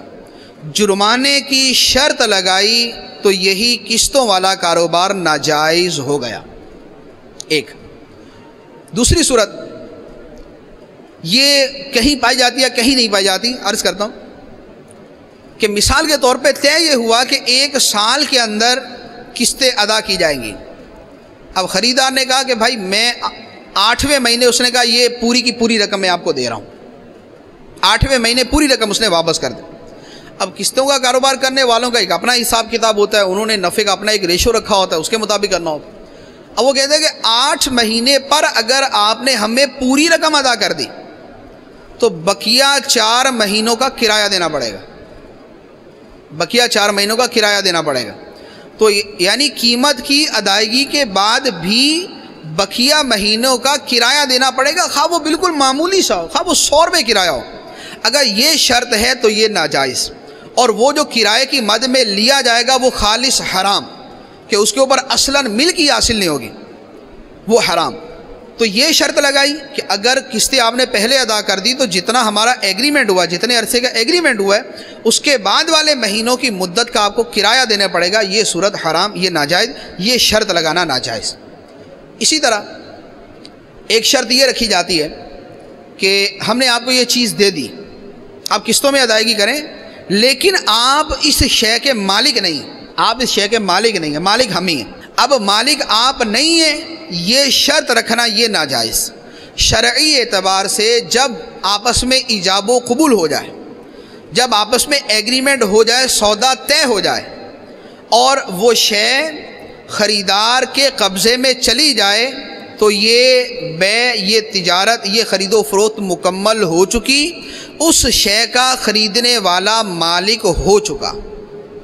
تو اب یہ شرط رکھنا کہ جب تک آپ کی قسطیں پوری نہیں ہوں گی، تب تک مالک ہم ہیں۔ یہ صورت جو ہے، یہ ناجائز ہے۔ یہ شرط رکھی ہے تو یہ بھی ناجائز۔ اسی طرح ایک اور صورت بھی ہے۔ یہ بالکل یہ ایک نئی صورت جو ہے، یہ کچھ ہی عرصے سے جو ہے، یہ مارکیٹ میں آئی ہے کہ hire purchase hire purchase, hire یہ کہ اس شے کا کرایہ بھی دیا جا رہا ہے اور پرچیز یہ ہے کہ اس کی قسطیں بھی ادا کی جا رہی ہیں۔ مثال کے طور میں میں نے ایک موٹر سائیکل خریدی۔ اب موٹر سائیکل خریدی ہے تو اس میں ایگریمنٹ یوں ہوا کہ آپ ماہانہ دو ہزار روپے دیں گے۔ ایک ہزار روپیہ موٹر سائیکل کی قیمت کی مد میں اور ایک ہزار روپیہ اس بائک کے کرائے کی مد میں۔ یعنی دو ہزار روپے کو دو حصوں میں ڈیوائڈ کیا، ایک حصہ جو ہے وہ قیمت کی مد میں ہے اور دوسرا حصہ جو ہے وہ اس کے کرائے کی مد میں۔ تو یہ ہائر بھی ہے پرچیز بھی ہے۔ یہ یعنی کرائے پر بھی لی ہے اور یہ قیمتاً بھی لی ہے، یہ خریدی بھی ہے۔ تو یوں ہائر پرچیز کو جمع کر دینا یعنی قیمت کو اور کرائے کو جمع کر دینا، یہ شرعی اعتبار سے ناجائز۔ سرکار دو عالم صلی اللہ تعالیٰ علیہ وآلہ وسلم نے ایک سودے میں دو سودے کرنے سے منع کیا۔ ایک سودے میں دو سودے کرنے سے منع کیا۔ تو یہاں پر دو سودے ہو رہے ہیں۔ ایک ہمارا ایگریمنٹ ہو رہا ہے کرائے کا۔ اور دوسرا ہمارا ایگریمنٹ ہو رہا ہے اس سے خرید و فروخت کا، تجارت کا۔ تو یوں دو سودوں کو جمع کرنا یہ شرعی اعتبار سے ناجائز۔ تو یہ بھی جو ہے یہ قسطوں کے کاروبار کے اندر ہی کی ایک صورت ہے۔ تو یوں ہائر پرچیز کی صورت جو ہے یہ بھی شرعی اعتبار سے ناجائز۔ ایک اور مسئلہ، یہ بھی بکثرت جو ہے یہ پوچھا جاتا ہے کہ کافروں کے ساتھ تجارت کرنا کیسا؟ کسی کافر سے خریدنا، کسی کافر کو بیچنا، یہ کیسا؟ کافروں سے خرید و فروخت میں شرعن کوئی حرج نہیں ہے۔ کافروں سے خرید و فروخت میں شرعن کوئی حرج نہیں ہے۔ بیرون ملک کا جتنا کاروبار ہے امپورٹ ایکسپورٹ کا بہت بڑا حصہ جو ہے وہ کافروں کے ساتھ ہی ہوتا ہے۔ اگر جو ہے وہ کافر ممالک کے اندر ہم سامان بھیج رہے تو انہی کو جو ہے وہ چیز جا رہی ہے۔ اسی طرح صحابہ کرام بیرون ملک تجارت کرتے تھے۔ امپورٹ ایکسپورٹ کا کاروبار صحابہ کرام بھی کیا کرتے تھے کہ ان کے جو ہے وہ تجارتی قافلے جو ہے وہ رواں دواں ہوتے تھے۔ سیدنا عثمانی غنی رضی اللہ تعالیٰ عنہ کے کئی قافلے جو انہوں نے پورے کا پورا قافلہ ہی اللہ کی راہ میں صدقہ کر دیا۔ تو اس طرح کے واقعات موجود ہیں۔ سیدنا عبد الرحمن بن عوف رضی اللہ تعالیٰ عنہ کے ایسے واقعات۔ تو بیرون ملک جو ان کے تجارتی قافلے جاتے تھے تو بیرون ملک کیا تھا؟ کافر ہی ہوتے تھے اس زمانے میں۔ پھر اسی طرح تاجروں کے لیے اسی صورت کے اندر ایک بہت بڑی جو ہے وہ چیز جو ہمارے ہاں آج کل نہیں پائی جاتی اور کاش کے پائی جائے، اگر آپ کچھ تاریخ کا مطالعہ کریں، خواہ جو ہے وہ پاکستان کی جو تاریخ ہے اسی کا مطالعہ کریں، پاکستان ہے، اسی طرح یہ Malaysia, Indonesia Finland Philippines, یہاں پر یہ ملائیشیا، انڈونیشیا، یہ اتنی کثرت کے ساتھ وہاں پر مسلمانوں کی آبادی ہے کہ ہمارے پاکستان میں بھی اس طرح کثرت کے ساتھ نہیں ہے۔ یعنی ہمارے یہاں جیسے ہندو، عیسائی اور دوسرے لوگ ہیں، ملائیشیا وغیرہ کے اندر جو مسلمانوں کا تناسب ہے وہ بہت زیادہ ہے۔ یہ ملائیشیا، انڈونیشیا، فلپائن، اسی طرح ابتدان جو ہے یہ ہندوستان کے علاقوں کے اندر اسلام کیسے پھیلا؟ وہاں پر اسلام پھیلنے کا ذریعہ تاجر حضرات تھے۔ دنیا کے اندر اسلام پھیلنے کا بہت بڑا ذریعہ تاجر حضرات۔ ملائیشیا کے اوپر مسلمانوں نے فوج کشی نہیں کی تھی۔ اس پہ فوجوں نے حملہ نہیں کیا تھا۔ اسی طرح انڈونیشیا کے اوپر اسلامی لشکروں نے حملہ نہیں کیا تھا۔ یہاں ہندوستان پر محمد بن قاسم کے حملہ کرنے سے پہلے ہی ایک تعداد مسلمان تھی۔ محمد بن قاسم نے حملہ کیوں کیا تھا؟ اسی لیے نا کہ مسلمان تاجر یہاں پر تجارت کرنے آئے تھے۔ وہ تجارت کرنے آئے، ان میں جو ہے وہ بادوں کو قید کر لیا گیا، تو ان میں سے ایک عورت نے جو ہے وہ خط لکھا، پھر وہاں سے فوجیں آئیں۔ تو مسلمان تاجر پہلے آئے، انہوں نے آ کر اسلام کی تبلیغ کی، یہاں پر کچھ لوگوں کو مسلمان کیا۔ اور وہ علاقے کے جہاں پر کبھی بھی مسلمان مسلمان فوج نہ گئی، اور وہ پورے کے پورے علاقے مسلمان ہیں۔ اب یہ فلپائن ہے فلپائن جو ہے وہ، ابھی تو جو ہے وہ کافروں کا ملک ہے، لیکن اس میں اتنی بڑی تعداد مسلمانوں کی ہے، لاکھوں کی تعداد میں مسلمان ہیں۔ تو وہاں پر مسلمان کیسے ہوئے؟ ہمارے تاجر اسلامی بھائی وہاں پر گئے۔ ملائیشیا کے اندر ہمارے تاجر اسلامی بھائی گئے۔ انڈونیشیا کے اندر مسلمان تاجر گئے۔ اور انہوں نے وہاں پر جا کر تجارت بھی کی اور اسلام بھی پھیلایا۔ تو جو بیرون ملک کافروں کے ساتھ تجارت کرنے والے ہیں۔ کاش کہ وہ ہمارے ان صحابہ کرام، ان تابعین، ان بزرگان دین اور ان مسلمان تاجروں کی نقل کرے کہ بیرون ملک جاتے ہیں، کافروں کے ساتھ تجارت کرتے ہیں، لیکن ان کی تجارت ہی اسلام پھیلنے کا ذریعہ بن گئی۔ ان کی تجارت ہی ملکوں کے ملک مسلمان کرنے کا ذریعہ بن گئی۔ تو ہمارے جتنے تاجر بھائی بیرون ملک کے ساتھ تجارت کرتے ہیں خواہ وہ نیٹ کے اوپر کرتے ہیں یا فون پر کرتے ہیں یا ان کا اپنا وہاں پر آنا جانا ہوتا ہے، تو اپنی نظر کے اندر اپنے اسلاف کا وہ طرز عمل رکھیں کہ ہم نے تجارت بھی کرنی ہے اور تجارت سے زیادہ اسلام کا کام کرنا ہے۔ ہم نے تجارت کا کام کرنا اور تجارت سے زیادہ اسلام کا کام کرنا۔ الحمدللہ اس سنت پر، صحابہ کی، تابعین کی اور ان عظیم مسلمان تاجروں کی سنت پر دعوت اسلامی عمل کر ہمارے تاجر اسلامی بھائی دوسرے ملکوں میں جاتے ہیں، اپنی تجارت بھی کرتے ہیں، دعوت اسلامی کا مدنی کام بھی کرتے ہیں۔ تو کاش کہ ہمارے سب مسلمان تاجر بھائیوں کا دین بنے کہ ہم بیرون ملک میں جائیں تو اپنے کاروبار کرنے کے ساتھ ہم اسلام کا کام بھی کریں، ہم دین کا کام بھی کریں، ہم اپنے مسلک کا کام بھی کریں۔ ہم اسلام کے لیے بھی ہم جو ہے وہ اپنا کچھ وقت نکالیں۔ تو الحمدللہ ہمارے پاس تو دعوت اسلامی کا پلیٹ فارم موجود۔ آپ کا کسی بھی ملک کے اندر اگر تجارت کا کام ہے تو آپ کو کوئی مشکل نہیں ہے۔ کہ آپ جو ہے وہ مدنی مرکز میں رابطہ کر کے پوچھ لیں کہ وہاں پر دعوت اسلامی کا اجتماع کہاں ہوتا ہے؟ الحمدللہ تقریباً جو ہے جن ملکوں میں ہمارے تاجر بھائی جاتے ہیں، وہاں پر دعوت اسلامی کا اجتماع ہوتا ہی ہے۔ وہاں پر دعوت اسلامی کے ذمہ دار موجود ہی ہوتے ہیں۔ تو وہاں پر جا کر ان سے رابطہ کریں۔ اور بالفرض رابطے کی کوئی صورت نہیں ہے، تو دین کا کام کرنا، دین کا پیغام پھیلانا تو ہر ایک کی ذمہ داری ہے۔ ہر مسلمان ہی مبلغ، ہر مسلمان کو ہی دین کا پیغام پہنچانا چاہیے۔ تو بہر صورت تجارت کے ساتھ اپنی آخرت کی تجارت بھی جاری رکھنی چاہیے۔ تو خیر، عرض کر رہا تھا کہ کافروں کے ساتھ تجارت کرنا کیسا؟ تو اس کا جواب یہ تھا کہ کافروں کے ساتھ تجارت کرنے میں کوئی حرج نہیں ہے۔ ہاں اس میں یہ ہے کہ وہاں پر شرعی حدود کا لحاظ رکھنا ضروری۔ شرعی حدود وہ یہ ہے کہ دھوکہ خیانت وغیرہ، وہ معاملہ جو ہر جگہ ہی مسلمان کے لیے منع ہے، ان سے بچنا ایک۔ دوسرا یہ ہے کہ کافروں کے ساتھ تجارت کے اندر ایسا نہ ہو کہ ان کے ساتھ جو ہے وہ دوستی کی پینگے جو ہے وہ آدمی چڑھا رہا ہو۔ کہ ان کے ساتھ ایسا تعلق، دوسروں، ان کے ساتھ تجارت کرنا جائز ہے، لیکن ایسے گہرے تعلق ہے جس کی وجہ سے مداحنت پیدا ہو، جس کی وجہ سے معاذ اللہ اس کے مذہب کی طرف رغبت پیدا ہو، جس کی وجہ سے کفر کے بارے میں دل میں نفرت میں کمی پیدا ہو، یہ صورت منع ہے۔ اس صورت کی اجازت نہیں ہے۔ تو تجارت کریں، لیکن اپنے مذہب پہ، اپنے دین پہ ڈٹ کے، اپنے مذہب پہ جم کے، اپنی مذہب کی محبت کو اپنے دل میں مزید پروان چڑھاتے ہوئے یوں تجارت کریں تو اس میں کوئی حرج نہیں، بلکہ اگر اسے تبلیغ اسلام کا ذریعہ بنائیں۔ اگر آپ تجارت میں یہ نیت کریں کہ میں بیرون ملک کافروں سے اس لیے تجارت کر رہا ہوں کہ میرے لیے اسلام کا پیغام پہنچانا آسان ہو جائے گا، تو اس حسن نیت کے ساتھ تو ہماری تجارت عبادت بن جائے گی۔ ہماری تجارت ہمارے لیے ثواب کا کام بن جائے گی۔ ہماری تجارت جو ہے وہ ہماری آخرت کی تجارت میں تبدیل ہو جائے گی۔ تو دنیا کا نفع بھی ہو جائے گا اور آخرت کا نفع بھی ہو جائے گا۔ تجارت کی صورتوں میں امپورٹ ایکسپورٹ کی جو ہے وہ صورتیں جو ہے وہ چند ایک بیان ہوئی اسی کے اندر ایک ناجائز صورت۔ یہ بھی رائج ہے اور اس کا ناجائز ہونا بھی تقریباً سب پہ واضح ہے۔ لیکن بس وہ خام خائی کے وہ آنکھیں بند کر کے بلی سے چھپنے والی بات۔ ایکسپورٹ کرنے والوں کو حکومت کی طرف سے کچھ جو ہے فیسلٹیز دی جاتی ہیں، کچھ سہولیات دی جاتی ہیں کہ اس نے جو ہے وہ جتنے ٹیکس وغیرہ جو ہے وہ سیل ٹیکس اور اس طرح کے ٹیکس ادا کیے ہوتے ہیں، تو اگر وہ اپنے سارے بل وغیرہ جو ہے وہ حکومت کو اگر دکھاتا ہے، تو حکومت جو ہے وہ اس کو اس کو ایک اچھا الاؤنس جو ہے وہ دیتی ہے۔ اس کو اچھی رقم جو ہے وہ بطور انعام کے یا وہ بطور الاؤنس کے اس کو دی جاتی ہے۔ جیسے مثال کے طور پہ کسی نے جو ہے وہ دس لاکھ روپے کی ٹریڈنگ کی ہے تو حکومت اس کی فیصد ایک اس نے بنائی ہوتی ہے تو اس کے اعتبار سے اس کو نفع دیتی اب ہوتا کیا ہے کہ بعض اوقات تو یہ کیا جاتا ہے کہ ایک آدمی نے تجارت کی نہیں، تجارت کی نہیں ہے اور جعلی بل بنوا لی ہے۔ ایکسپورٹ کے جعلی اس نے بل بنوا لی ہے۔ جعلی بل جو ہے وہ حکومت کو شو کی ہے اور اس کے اوپر جو اس کو جو ہے وہ حکومت کی طرف سے جو رقم ملتی ہے وہ اس نے وصول کر لی۔ یہ تو سیدھا سیدھا جھوٹ بول کے دھوکہ دے کے رقم کمانے والی بات، یہ صاف حرام۔ دوسری صورت یہ ہوتی ہے کہ کاروبار کیا، لیکن مثال کے طور پہ جتنا کاروبار کیا ہے، اس کے بلوں کے اوپر ہمیں رقم ملنی ہے ایک لاکھ روپے۔ کچھ بل مزید بنوا لیتے ہیں۔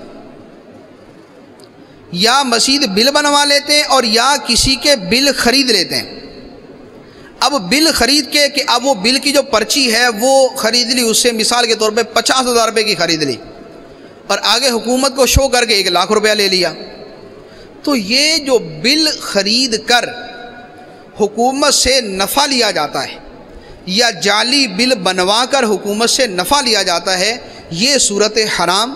اس میں ایک تو جھوٹ ہے، دوسرا اس میں دھوکہ ہے۔ تو دھوکے کی وجہ سے حرام اور یہ جو یوں جھوٹ بول کے نفع لیا جائے گا، جو دھوکہ دے کر نفع لیا جائے گا، اس کی ایک ایک پائی، ایک ایک پیسہ، اس کا ایک ایک روپیہ اس کا حرام ہے۔ نہ اس کا استعمال کرنا حلال، نہ اس کا جو ہے وہ آگے کسی کو جو ہے وہ بطور صدقہ، کے صدقہ کرنا حلال، یہ رقم ضروری ہے کہ دوبارہ گورنمنٹ کے ادارے ہی کو واپس کی جائے۔ تو یہ ایکسپورٹ کے کاروبار میں جو یہ صورت کی جاتی ہے، جعلی بل بنوائے جاتے ہیں یا بل خرید لیے جاتے ہیں، یہ دونوں صورتیں ناجائز۔ جعلی بل بنوانا تو جھوٹ ہے، دھوکہ ہے، اور بل خریدنا یہ بھی ناجائز ہے کہ میں نے عرض کیا تھا کہ یہ بل اور رسیدوں کی خرید و فروخت، یہ شرعی اعتبار سے خرید و فروخت نہیں ہے کہ بل جو ہے وہ شرعن مال نہیں ہے۔ تو جو شے مال نہیں ہے، اس کی خرید و فروخت کرنا یہ شرعی اعتبار سے بے باطل، تجارت باطل ہے اور تجارت باطل حرام۔ تو یہ صورت جو ہے، یہ ناجائز و حرام ہے، اس سے بھی بچنا ضروری۔ ایک اور صورت جو ہمارے یہاں بہت زیادہ پائی جاتی ہے، اس کا حرام ہونا بھی بالکل واضح لیکن آنکھیں بند اس صورت سے بھی۔ چیز بنتی ہے کراچی میں، مہر لگتی ہے جاپان کی۔ چیز بنتی ہے ہمارے کسی شہر میں، اور made in Japan made in America اور made in Korea made in Thailand تو یہ اس کے اوپر مہر لگائی جاتی۔ تو اب جو شے جس جگہ کی بنی ہوئی نہیں ہے، اس پر وہاں کی مہر لگانا، یہ سیدھا جھوٹ کا ٹھپا لگانا ہے۔ یہ جھوٹ کی مہر ہے۔ تو اب یہ کتنا جھوٹ بولا؟ اب ایک ہزار کی تعداد میں اگر مثال کے طور پہ کوئی شے تیار کروائی اور ایک ہزار ہی اس کے اوپر جو ہے نا وہ مہریں لگائیں، تو جھوٹ کتنے ہوئے؟ جھوٹ بھی ایک ہزار ہو گئے۔ پھر جو ہے وہ دکاندار کے، جس کو یہ پتہ ہے کہ یہ شے اس ملک کی، اس جگہ کی بنی ہوئی نہیں اور وہ اس ملک کی بنی ہوئی کہہ کر بیچتا ہے۔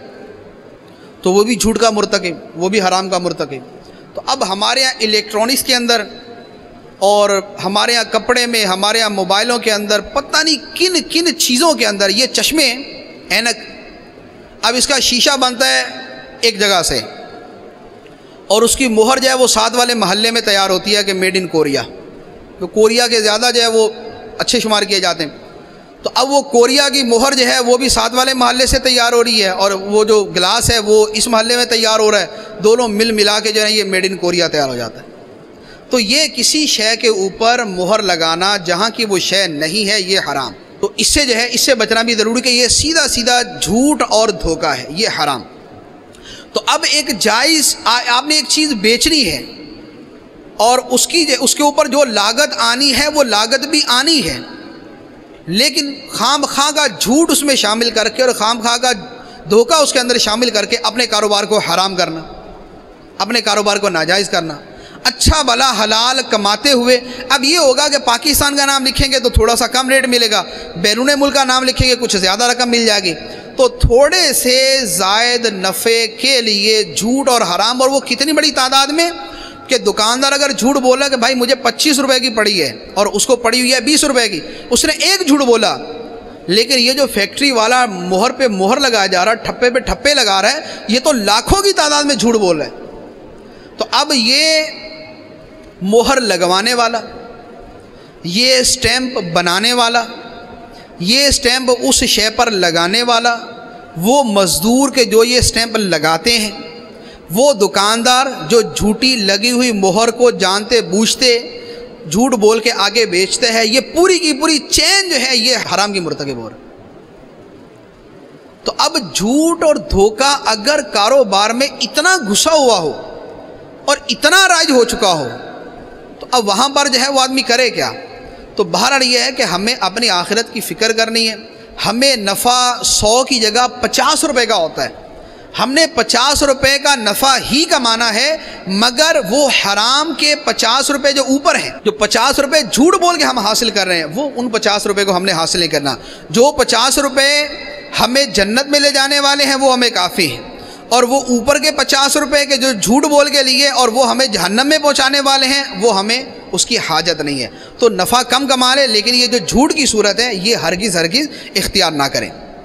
اسی طرح ایک اور چیز اسی دھوکے کی صورت کے اندر کہ ایک تو یہ ہوتا ہے کہ میڈ ان فلاں یہ مہر لگائی جاتی دوسرا یہ ہوتا ہے کہ اس کمپنی کی وہ شے نہیں اور کمپنی کے مہر لگا دی مشہور کمپنی ہوتی ہے یا بیرون ملک کی کمپنی ہے اب پتہ ہے کہ اس کمپنی کی جو ہے وہ مارکیٹ کے اندر ویلیو گاہک جو ہے وہ اسی کمپنی کی آ کے چیز جو ہے وہ خریدنے کی کوشش کرتا ہے تو اب اس کمپنی کی مہر لگانا یہ کئی اعتبار سے حرام۔ ایک تو وہی جھوٹ والی صورت ہے کہ اس کمپنی کی چیز ہے نہیں، لیکن اس کمپنی کا نام لیا۔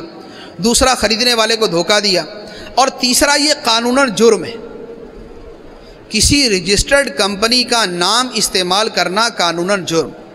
اور جو شے قانون جرم اور رشوت اور ذلت کا باعث بنے، وہ صورت بھی ناجائز۔ تو یوں کسی کمپنی کا نام استعمال کرنا یہ بھی ناجائز۔ تو یہ بھی جو ہے وہ بہت زیادہ کیا جاتا ہے۔ دینی کاموں کے اندر، دنیاوی کاموں کے اندر ٹھیک ٹھاک تعداد میں کیا جاتا ہے۔ ایک آدمی کی مارکیٹ کے اندر پروڈکٹ نکلی ہوئی ہے۔ اب مثال کے طور پہ کسی کا شیمپو نکلا ہوا ہے تو وہی شیمپو ڈھیروں ڈھیر جو ہے وہ اپنی فیکٹری کے اندر تیار کر کے نکلوا دیا۔ تو یہ جھوٹ، فراڈ، دھوکہ، قانونی جرم، یہ حرام۔ اسی کے اندر ایک اور چیز بھی ہے۔ وہ وہ جب پیش آتی ہے تو یہ آدمی کو سمجھ آتی کہ یہ کیا ہوا۔ ہوتا یہ کہ ایک کمپنی کا نام ہے۔ اب دوسرے جو ہے کمپنی کا نام تو استعمال نہیں کرتے، کیوں؟ اس لیے کہ قانون کا ڈر ہے۔ قانون کا ڈر ہے، اس لیے نام نہیں استعمال کرتے۔ لیکن بےآئین ہی، انہی الفاظ سے ملتا جلتا، اسی لوگوں سے ملتا جلتا۔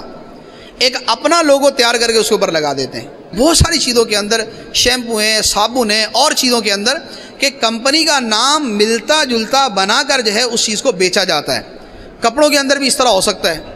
کہ کپڑوں کے اندر جو ہے وہ ایک نام ہے، تو اس سے ملتے جلتے نام تو مشکل نہیں ہے نا۔ اگر گاف ہے تو اس کی جگہ کاف کر دیں۔ میم ہے تو میم کی جگہ ملتا جلتا جو ہے کوئی اور کچھ بنا دیں۔ نون کو جو ہے وہ میم کی شکل گھمایا جا سکتا ہے۔ کوئی کمپنی کا نام جیم کے ساتھ ہے، تو جیم کو ہا کرنے میں کوئی مسئلہ نہیں۔ جیم ہے اس کو خا کر دیا، تو ایک نقطہ نیچے تھا، اس کو اوپر کر دیا، تو ملتا جلتا نام بن گیا۔ تو یہ نام بنانا جو ہے، اب یہ اس میں دو صورتیں۔ ایک تو یہ ہے کہ یوں نام لکھا۔ اب لازمی بات ہے کہ یہ جدا چیز ہے، تو جدا چیز ہے، اس کا نام تو استعمال نہیں کیا۔ لیکن اگر اس کی وجہ سے کسی کو دھوکہ دے رہا ہے، اگر اس کی وجہ سے کسی کو دھوکہ دے رہا ہے، مثال کے طور پہ ایک آدمی دکان پہ آتا اور آگے کہتا ہے جی فلاں کمپنی کی یہ چیز دے دیں۔ اور اس کو وہ ملتی جلتی اٹھا کر دے دی، جس کو پہلی نظر کے اندر اس نے بھی یہی سمجھا کہ یہ وہی چیز ہے، اس نے ڈال لی، لے گیا۔ تو اب ملتا جلتا نام فی نفسی حرام نہیں تھا۔ کیونکہ یہ تو نہیں ہے کہ اگر ایک آدمی کا ایک نام ہے تو اس سے ملتا جلتا نام بھی نہیں رکھ سکتے، ملتا جلتا نام رکھ سکتے اسے۔ لیکن اگر اس کی وجہ سے دھوکہ دیا جا رہا ہے کسی کو، تو یہ دھوکہ دینا حرام ہو۔ یہ دھوکہ دینا ناجائز ہو جائے گا۔ تو یہ سورج ہے، یہ بھی جو ہے وہ بہت ساری چیزوں کے اندر رائج ہے، اس سے بھی بچنا ضروری۔ ایک اور چیز، یہ ہمارے یہاں یہ تو آئے دن، ہر تیسرے دن کسی نہ کسی شے کے بارے میں اٹھ جاتا ہے۔ مشہور ہو جاتا ہے جی فلاں چیز کے اندر خنزیر کی چربی ہے۔ وہ اس چیز کے اندر جو ہے انہوں نے شراب ڈال دی ہے۔ تو اب یہ مختلف پروڈکٹس کے بارے میں بعض اوقات ہمارے مسلمانوں کی ہوتی ہے، بعض اوقات غیر مسلموں کی ہوتی ہے۔ تو کسی چیز کے بارے میں یہ مشہور ہو جانا کہ اس میں فلاں چیز ڈالی گئی ہے۔ زیادہ تر وہ مشہور ہوتے ہیں کوڈ کہ جس جو ہے وہ چیز کے اوپر فارمولے کے اندر کوڈ لکھا ہوگا نا، وہ کوڈ پکا کہ خنزیر کا ہی کوڈ ہوگا۔ تو ایسا نہیں ہے، یہ کوئی ضروری نہیں ہے کہ کوڈ لکھا تو اسی کا ہو۔ کوڈ ہر شے کا کوڈ بنایا ہوتا ہے۔ پودے کا اپنا کوڈ ہوتا ہے، چربی کا اپنا ہوتا ہے، گوشت کا اپنا کوڈ ہوتا ہے۔ کسی شے کے بارے میں یہ مشہور ہو جانا کہ فلاں شے میں کوئی حرام چیز کی ملاوٹ کی گئی ہے۔ صرف اتنا مشہور ہو جانے سے وہ شے حرام نہیں ہو جاتی۔ یہ زیادہ تر ہمارے وہ اسلامی بھائی پریشان ہوتے ہیں کہ جن کا ایک تو دینداری کا ذوق ہے۔ ماحول میں آنا جانا ہے، دعوت اسلامی کے ساتھ وابستہ ہیں، یا ویسے جو ہے وہ دین کے ساتھ ایک ان کا تعلق ہے، اور ان کا کام جو ہے وہ سپر سٹور، جنرل سٹور، پرچون کا، کریانے کا، اس طرح کا ان کا کام۔ اب وہ مختلف قسم کی جو ہے وہ جوسیز ہیں، یا کولڈ ڈرنکس ہیں، یا جو ہے وہ چپس ہے یا جو ہے یہ اور جو ہے وہ کیا نام ہے، کوئی شربت وغیرہ بنانے کی جو چیزیں ہیں وہ ہیں۔ تو اب ان چیزوں کے بارے میں مشہور ہو جاتا ہے کہ بھئی فلاں چیز جو ہے نا، اس کے بارے میں ایک آدمی نے تحقیق کی ہے، اس کو پتہ چلا کہ اس کے اندر جو ہے وہ حرام جانور کی چربی ملائی گئی ہے۔ اس میں فلاں جانور کا جو ہے کوئی ایسڈ وغیرہ اس میں ملایا گیا ہے۔ تو یہ یہ چیز جو ہے، یہ جائز نہیں۔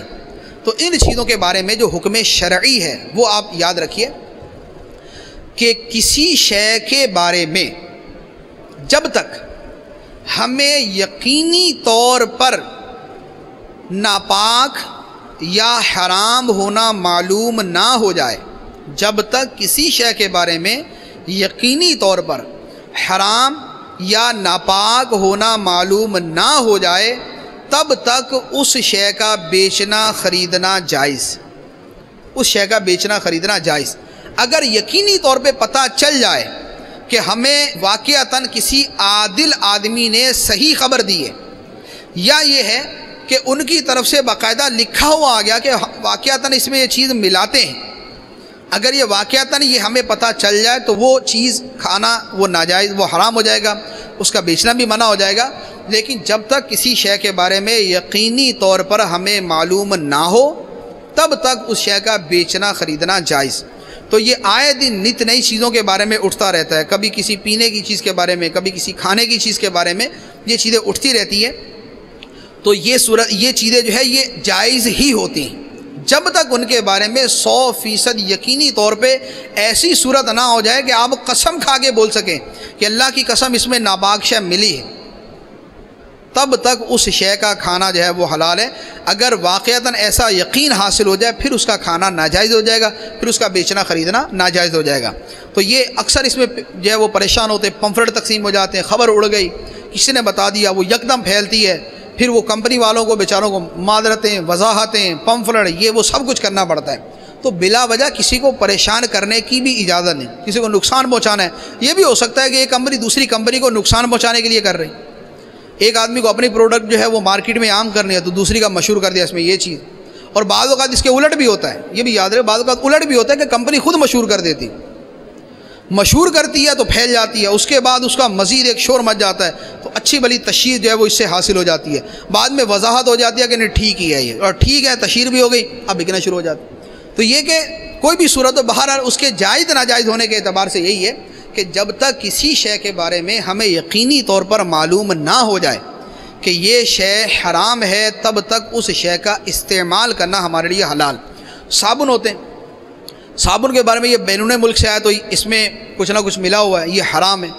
وہ لوگ خنزیر کی چربی ڈالتے ہیں۔ جب تک یقین نہ ہو جائے صابن بھی حلال۔ بیرون ملک سے بسکٹ آئے، اس میں کچھ ملایا ہوگا۔ نہیں، جب تک یقین نہیں ہے تب تک کھانا حلال۔ تو یوں جو ہے وہ اشیاء کے اندر اصل جو ہے یہی ہے کہ اصل میں اشیاء حلال ہیں، مباح ہیں۔ جب تک ان کے حرام ہونے کا یقین نہ ہو جائے تب تک ان کو استعمال کر سکتے ہیں۔ ہاں اس میں بعض چیزیں ایسی ہیں جو مستثنا بھی ہوتی ہیں، جیسے گوشت کا مسئلہ ہے۔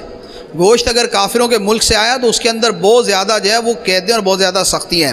تو گوشت والا مسئلہ جو ہے وہ اس سے جدا رکھیے گا۔ اس کے بارے میں جدا گانا معلوم کرنا تو اس کے بارے میں سوالات جو ہے وہ کر لیجیے گا، دارالفتہ سے پوچھ لیجیے گا۔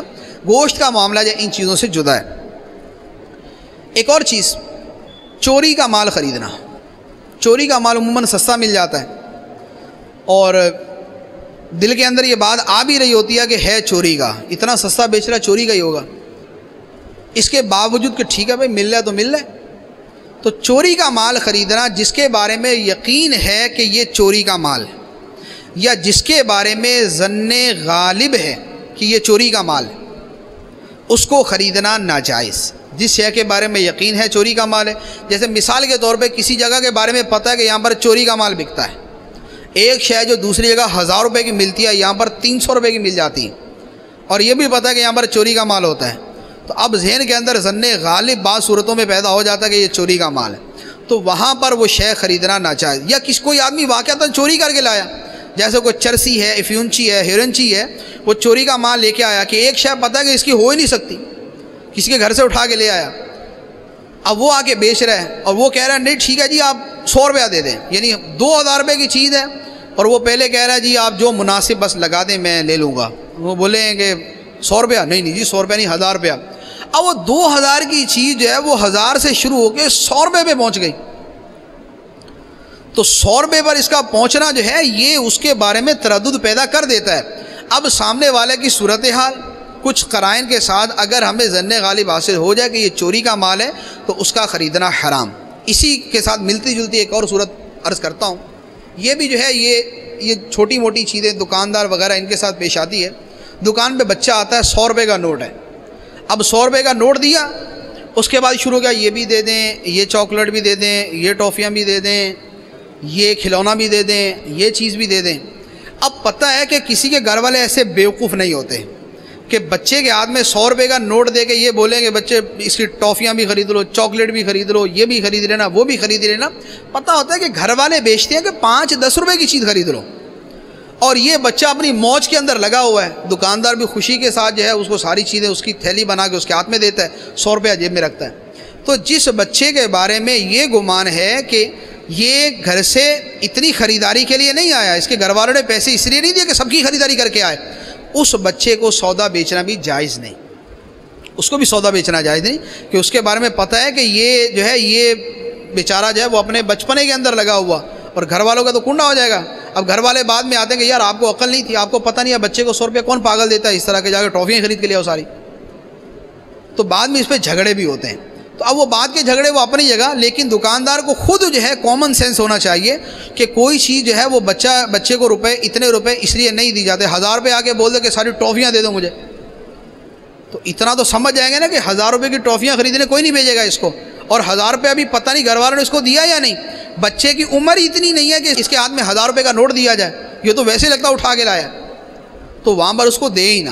بلکہ اگر خیر خواہی کریں تو اس کے گھر والوں کو جانتے ہوں تو رابطہ کر کے بتا دیں کہ آپ کے آپ کا بچہ ہزار روپے کا نوٹ لے کے گھوم رہا ہے اور چیزیں خریدنے کے لیے جب وہ کہہ رہا ہے۔ تو یوں خیر خواہی کریں گے تو یہ خیر خواہی کا بھی ثواب ملے گا، گھر والے دعائیں بھی دیں گے آپ کو۔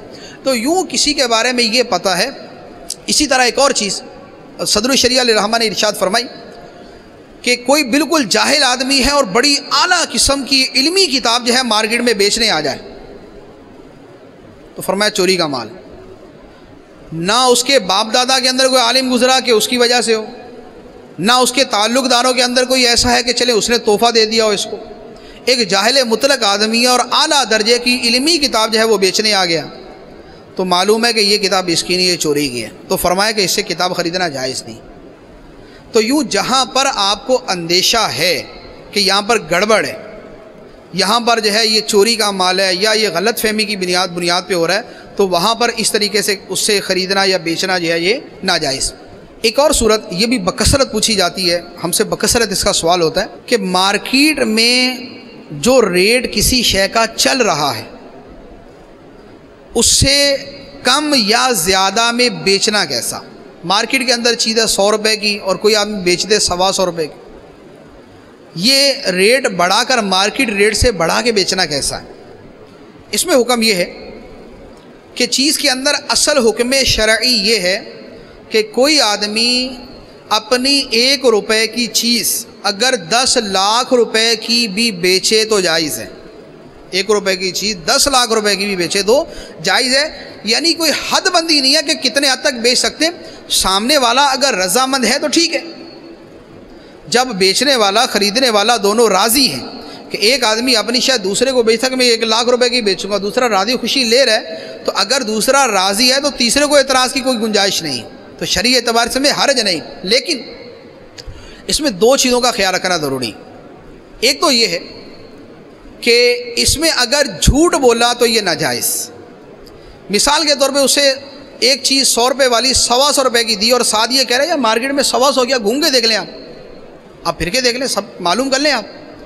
تو اب کہنے والے اتنے کانفیڈنس کے ساتھ کہتے ہیں، دکاندار جو ہے وہ اتنے کانفیڈنس کے ساتھ کہتا ہے کہ وہ خریدار بولتا ہے کہ نہیں یار، اتنا یہ بالکل کہہ رہا ہے تو یہ صحیح بول رہا ہوگا، خرید لیتا اس سے۔ یہ جو جھوٹ بولا یہ حرام۔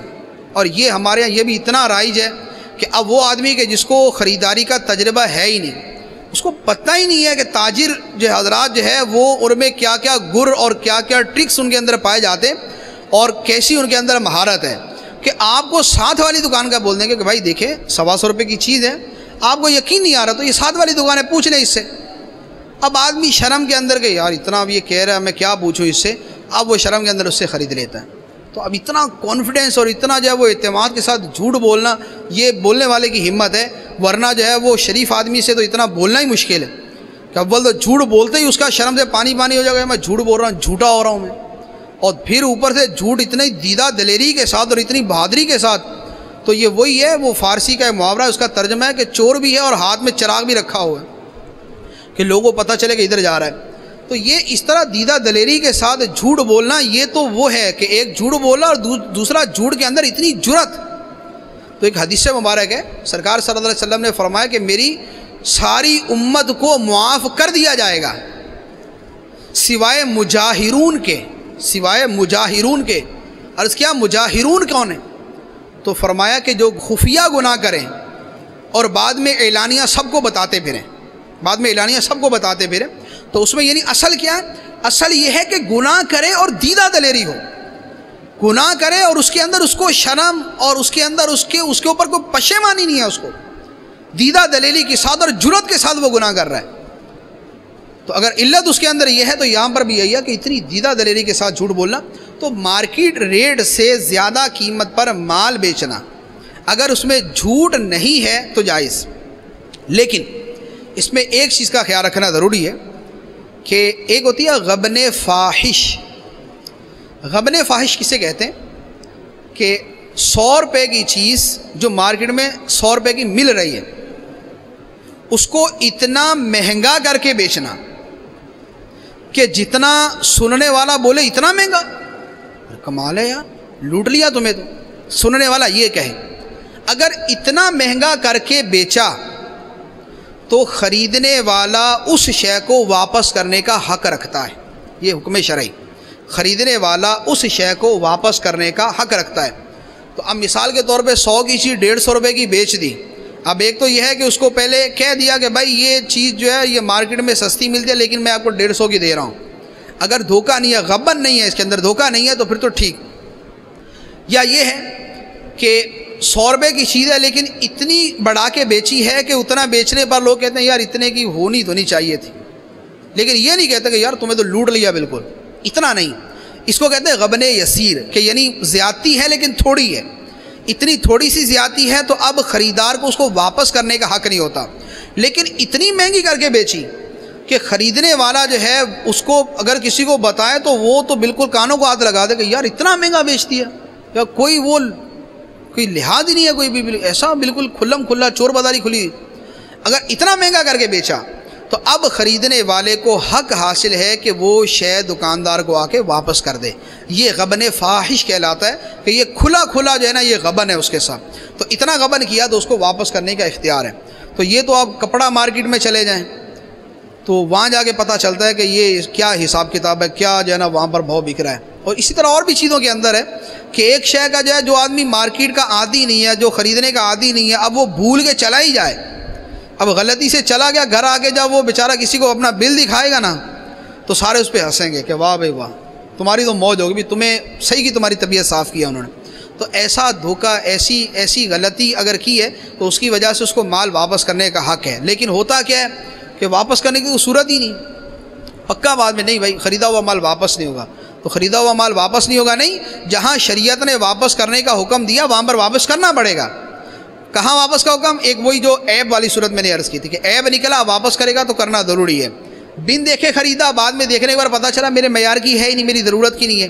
واپس کرے گا، واپس کرنا پڑے گا۔ اگر شرط رکھی تھی کہ میں واپس کروں گا تو تین دن کے اندر اس کا بھی اختیار ہے۔ اور چوتھی یہ صورت غبر فاحش والی تو شریعت نے جہاں واپسی کا اختیار دیا ہے، وہاں پر اگر کوئی کہتا ہے کہ نہیں جی واپس نہیں ہوگا تو اس کے اس کہنے کا اعتبار نہیں۔ ایک اور چیز، یہ بھی دکان، دکانوں پر، فیکٹریوں میں اور مختلف محکموں میں، مختلف آفیسز کے اندر کمپنیز کے اندر یہ چیز رائج ہے۔ پرچیزنگ آفیسر جو کمپنی کی طرف سے خریدنے کے لیے وکیل ہوتا ہے۔ ہم یعنی اصل تو خریدنے کا وکیل ہے۔ پرچیزنگ آفیسر ہے یا پرچیزر ہے وہ کمپنی کا کہ اس نے کمپنی کی طرف سے چیزیں خریدنی۔ دکان پہ گیا۔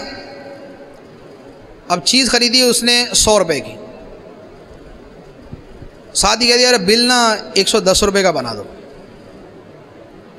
یہ ایک سو دس روپے کا بل کیوں بنوا رہے ہیں لازمی بات ہے کہ دس روپے کی ڈنڈی مارنی ہے، اس نے خیانت کرنی ہے۔ یہ جھوٹا بل بنوانا، خیانت والا، دھوکے والا بل بنوانا، یہ حرام۔ اور وہ جو اوپر کے دس روپے ہیں، وہ بھی سیدھے سیدھے خالص حرام۔ اپنے سیٹ کو، اپنے مالک کو، اپنی کمپنی کو واپس کرنا فرض۔ تو یہ کھاتا تو ایسا ہے کہ حد ہی کوئی نہیں ہے۔ فیکٹری والے پرچیزنگ آفیسر رکھتے ہیں کہ بھائی آپ مشینری کے آلات، پرزے، یہ وہ خرید کے لاؤ۔ تو پورا بل جو ہے وہ ہر چیز کے اندر کچھ کچھ کچھ کچھ اضافہ کر کے بل بنوا کے لے آتا ہے۔ یہ اوپر کی جتنی رقم ہے، خواہ وہ کرتے کرتے کروڑ روپے تک پہنچ چکی ہے یا وہ دس روپے تک ہے۔ وہ ٹوٹل خالص تن حرام ہے۔ اس کا ایک ایک روپیہ ناپاک اور خبیص اس کو اپنے استعمال میں کرنا حرام، اپنے بیوی بچوں پہ خرچ کرنا حرام۔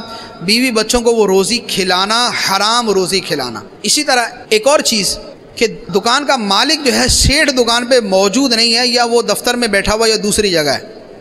اور دکان پہ کھڑا اس کا ملازم۔ اور ملازم سے ہمارا ہے تعلق۔ اب اس کو جا کے چیز جو ہے سو روپے کی چیز ہے تو اسے نوے کی دے دو۔ اس سے نوے روپے کی لے لینا۔ اسے اسی روپے کی چیز لے لینا۔ اب یہ ملازم کا سو روپے والی چیز کو اسی روپے کی دینا یہ حلال نہیں۔ وجہ وجہ یہ ہے کہ یہ جو ملازم ہے یہ اپنے سیٹھ کا وکیل ہے اپنے دکان کے مالک کا وکیل ہے اور وکیل کا حکم یہ ہے کہ اس کے موکل نے، جس نے اس کو وکیل بنایا، جس کا وہ نوکر ہے، ملازم ہے، اس نے اس کو جتنی قیمت میں دینے کا کہا ہے، وہ اتنی قیمت میں دے گا۔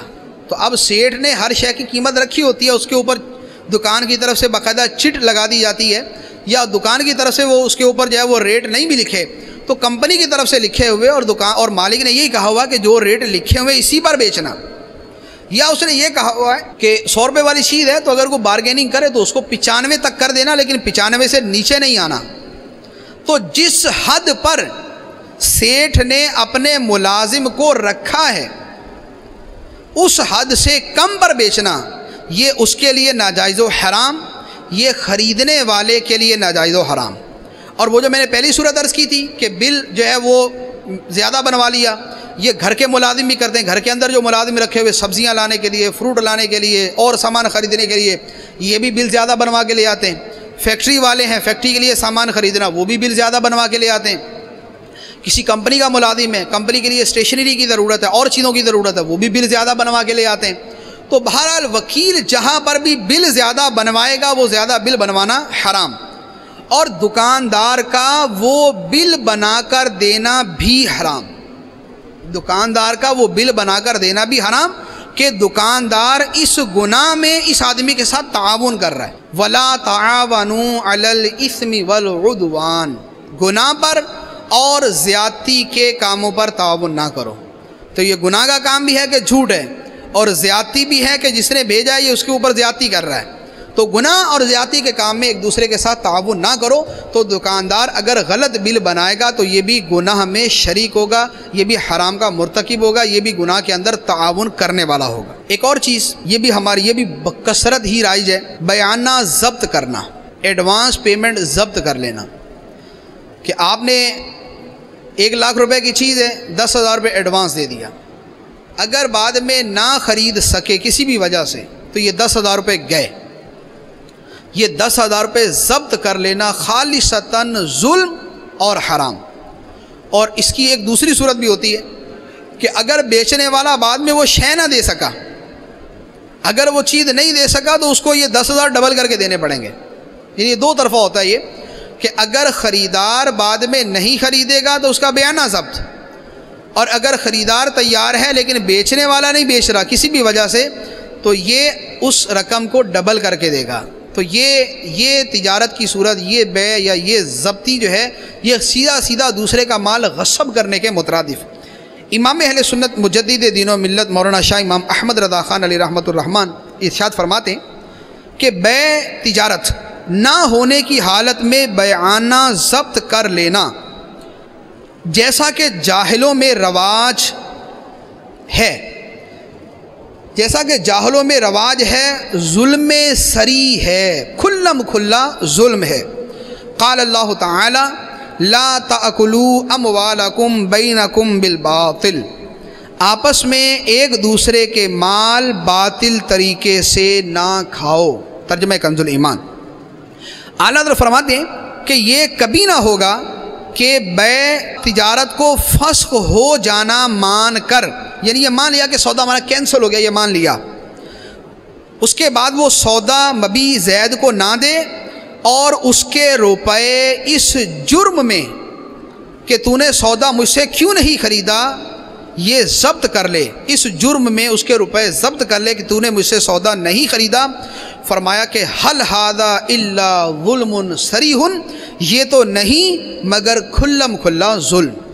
تو یہ کھلم کھلا ظلم ہے اور یہ ظلم بھی ایسا رائج ہے کہ توبہ توبہ۔ تو بہرحال یہ ظلم کی صورت ہے، ناجائز غصب کی صورت ہے، اس سے بچنا بھی فرض۔ اس کے علاوہ اور بہت ساری صورتیں جو ہے وہ ہمارے تجارت کے اندر جو ہے وہ ناجائز کی رائج ہے جتنی بھی بیان کی جائیں گی، پوری نہیں ہو سکتی۔ کیونکہ ہمارے یہاں ناجائز جتنا بڑا ہوا ہے اس کی کوئی حد نہیں ہے۔ ایک عام جو ظلم کیا جاتا ہے کہ دوسرے کی پیمنٹ کو لٹکایا جاتا ہے، بلا وجہ لٹکا رہا ہے۔ ایک تو یہ کہ ہے ہی نہیں چلے نہیں ہے، اس وجہ سے اس سے مہلت لے لی اور اس سے جو ہے وہ معذرت کر رہا ہے، ٹال مٹول کر رہا ہے تو ٹھیک۔ لیکن یہ کہ پیسہ موجود ہے، لیکن بس ادھر خرچ کرنے ہیں، ادھر خرچ کرنے ہیں، وہ کرنا، یہ کرنا، اس کی وجہ سے ٹال مٹول کر رہا ہے۔ تو یہ ٹال مٹول کرنا کیسا ہے؟ سرکار دو عالم صلی اللہ تعالیٰ علیہ وسلم نے ارشاد فرمایا مت الغنی ظلم، کہ غنی آدمی کا یعنی جو دے سکتا ہے، اس کا ٹال مٹول کرنا ظلم ہے۔ مطل الغنی ظلم، غنی آدمی کا جو آدمی ادائیگی کر سکتا ہے، اس کا ٹال مٹول کرنا ظلم ہے۔ اور ایک اور حدیث مبارک میں ہے کہ غنی آدمی کا ٹال مٹول کرنا اس کی عزت اور اس کے مال کو حلال کر دیتا ہے۔ اس کی عزت اور اس کے مال کو حلال کر دیتا ہے۔ اس کے مال کو حلال کیسے کر دیتا ہے؟ کہ ایک آدمی جان بوجھ کے اگر کسی کو ادائیگی نہیں کر رہا، تو جس کی ادائیگی نہیں کی جا رہی، اس کو شرعن اجازت ہے کہ اس کا مال چھین لے اس سے۔ یہ شرعی اعتبار سے اجازت ہے۔ وہ نرمی کرے اور وہ اس کے ساتھ اچھے طریقے سے پیش آئے، یہ جدا چیز ہے، لیکن اس کو حق جو ہے، وہ حاصل ہے کہ اگر وہ چاہے تو اس کا مال چھین لے اور اس کی عزت کو حلال کر دیتا ہے۔ اس کی عزت کا حلال کرنا یہ کہ اس کو برا بلا کہنا جائز تھا اس کے لیے کہ اس کو بولے کہ بھائی تم میرے ساتھ زیادتی کر رہے ہو، یہ غلط رویہ تمہارا۔ تو اس کی عزت کو حلال کر دیتا ہے۔ تو غنی آدمی کا ٹال مٹول کرنا، اس کے مال اور اس کی عزت کو حلال کر دیتا ہے۔ تو بلا وجہ کسی کی پیمنٹ لٹکانا موجود ہے، لیکن کل دیں گے، پرسوں دیں گے، ترسوں دیں گے، فلاں تاریخ کو دیں گے، چیک دے دیا، جان بوجھ کے چیک وہ دے دیا جو باؤنس ہو جائے گا۔ یا چیک جو ہے وہ دے دیا اور وہاں پر جو ہے بینک کے اندر پیسے ہی نہیں ہیں۔ یا چیک دے دیا اور جان بوجھے اس کے اندر کوئی نہ کوئی ایسی گڑبڑ کی سائن کے اندر کچھ ایسا کر دیا کہ جب یہ پیمنٹ لینے جائے گا تو بینک والے منع کر دیں کہ بھائی سائن نہیں مل رہے آپس کے اندر، یہ یہ نہیں ہے، وہ نہیں ہے۔ تو یوں ہیلے بہانے کے ساتھ ٹال مٹول کرتے رہنا فلاں جگہ پہ آ جانا، جھوٹ بولنے کی یعنی حدیں توڑی ہوتی ہیں۔ فون کریں کہ بھائی وہ سر آپ نے کچھ ادائیگی کرنی تھی۔ ہاں ہاں بالکل، میں بیٹھا ہوا، یہ پارٹی کے بعد بیٹھا ہوا بھی، میں آپ ہی کے پیسے لے رہا ہوں ان سے۔ آپ فکر نہ کریں۔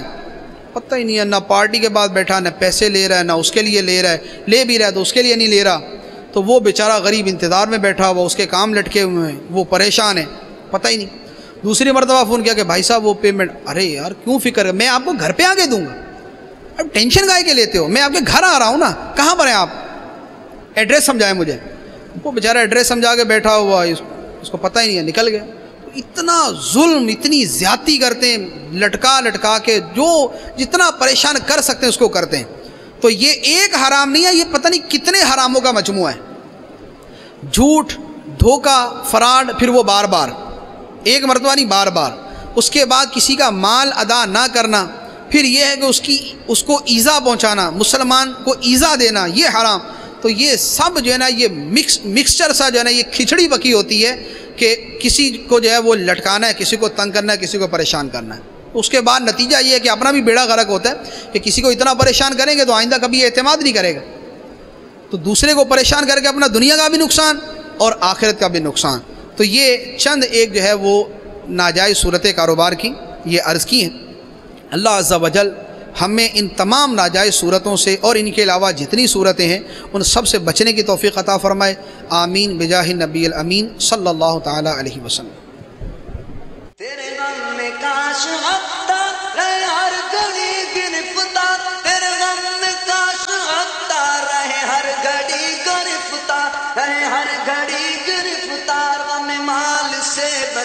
بچانا، غم مال سے بچانا، غم مال سے بچانا، مدنی، مدینے والے، مدنی، مدینے والے، مدنی، مدینے والے۔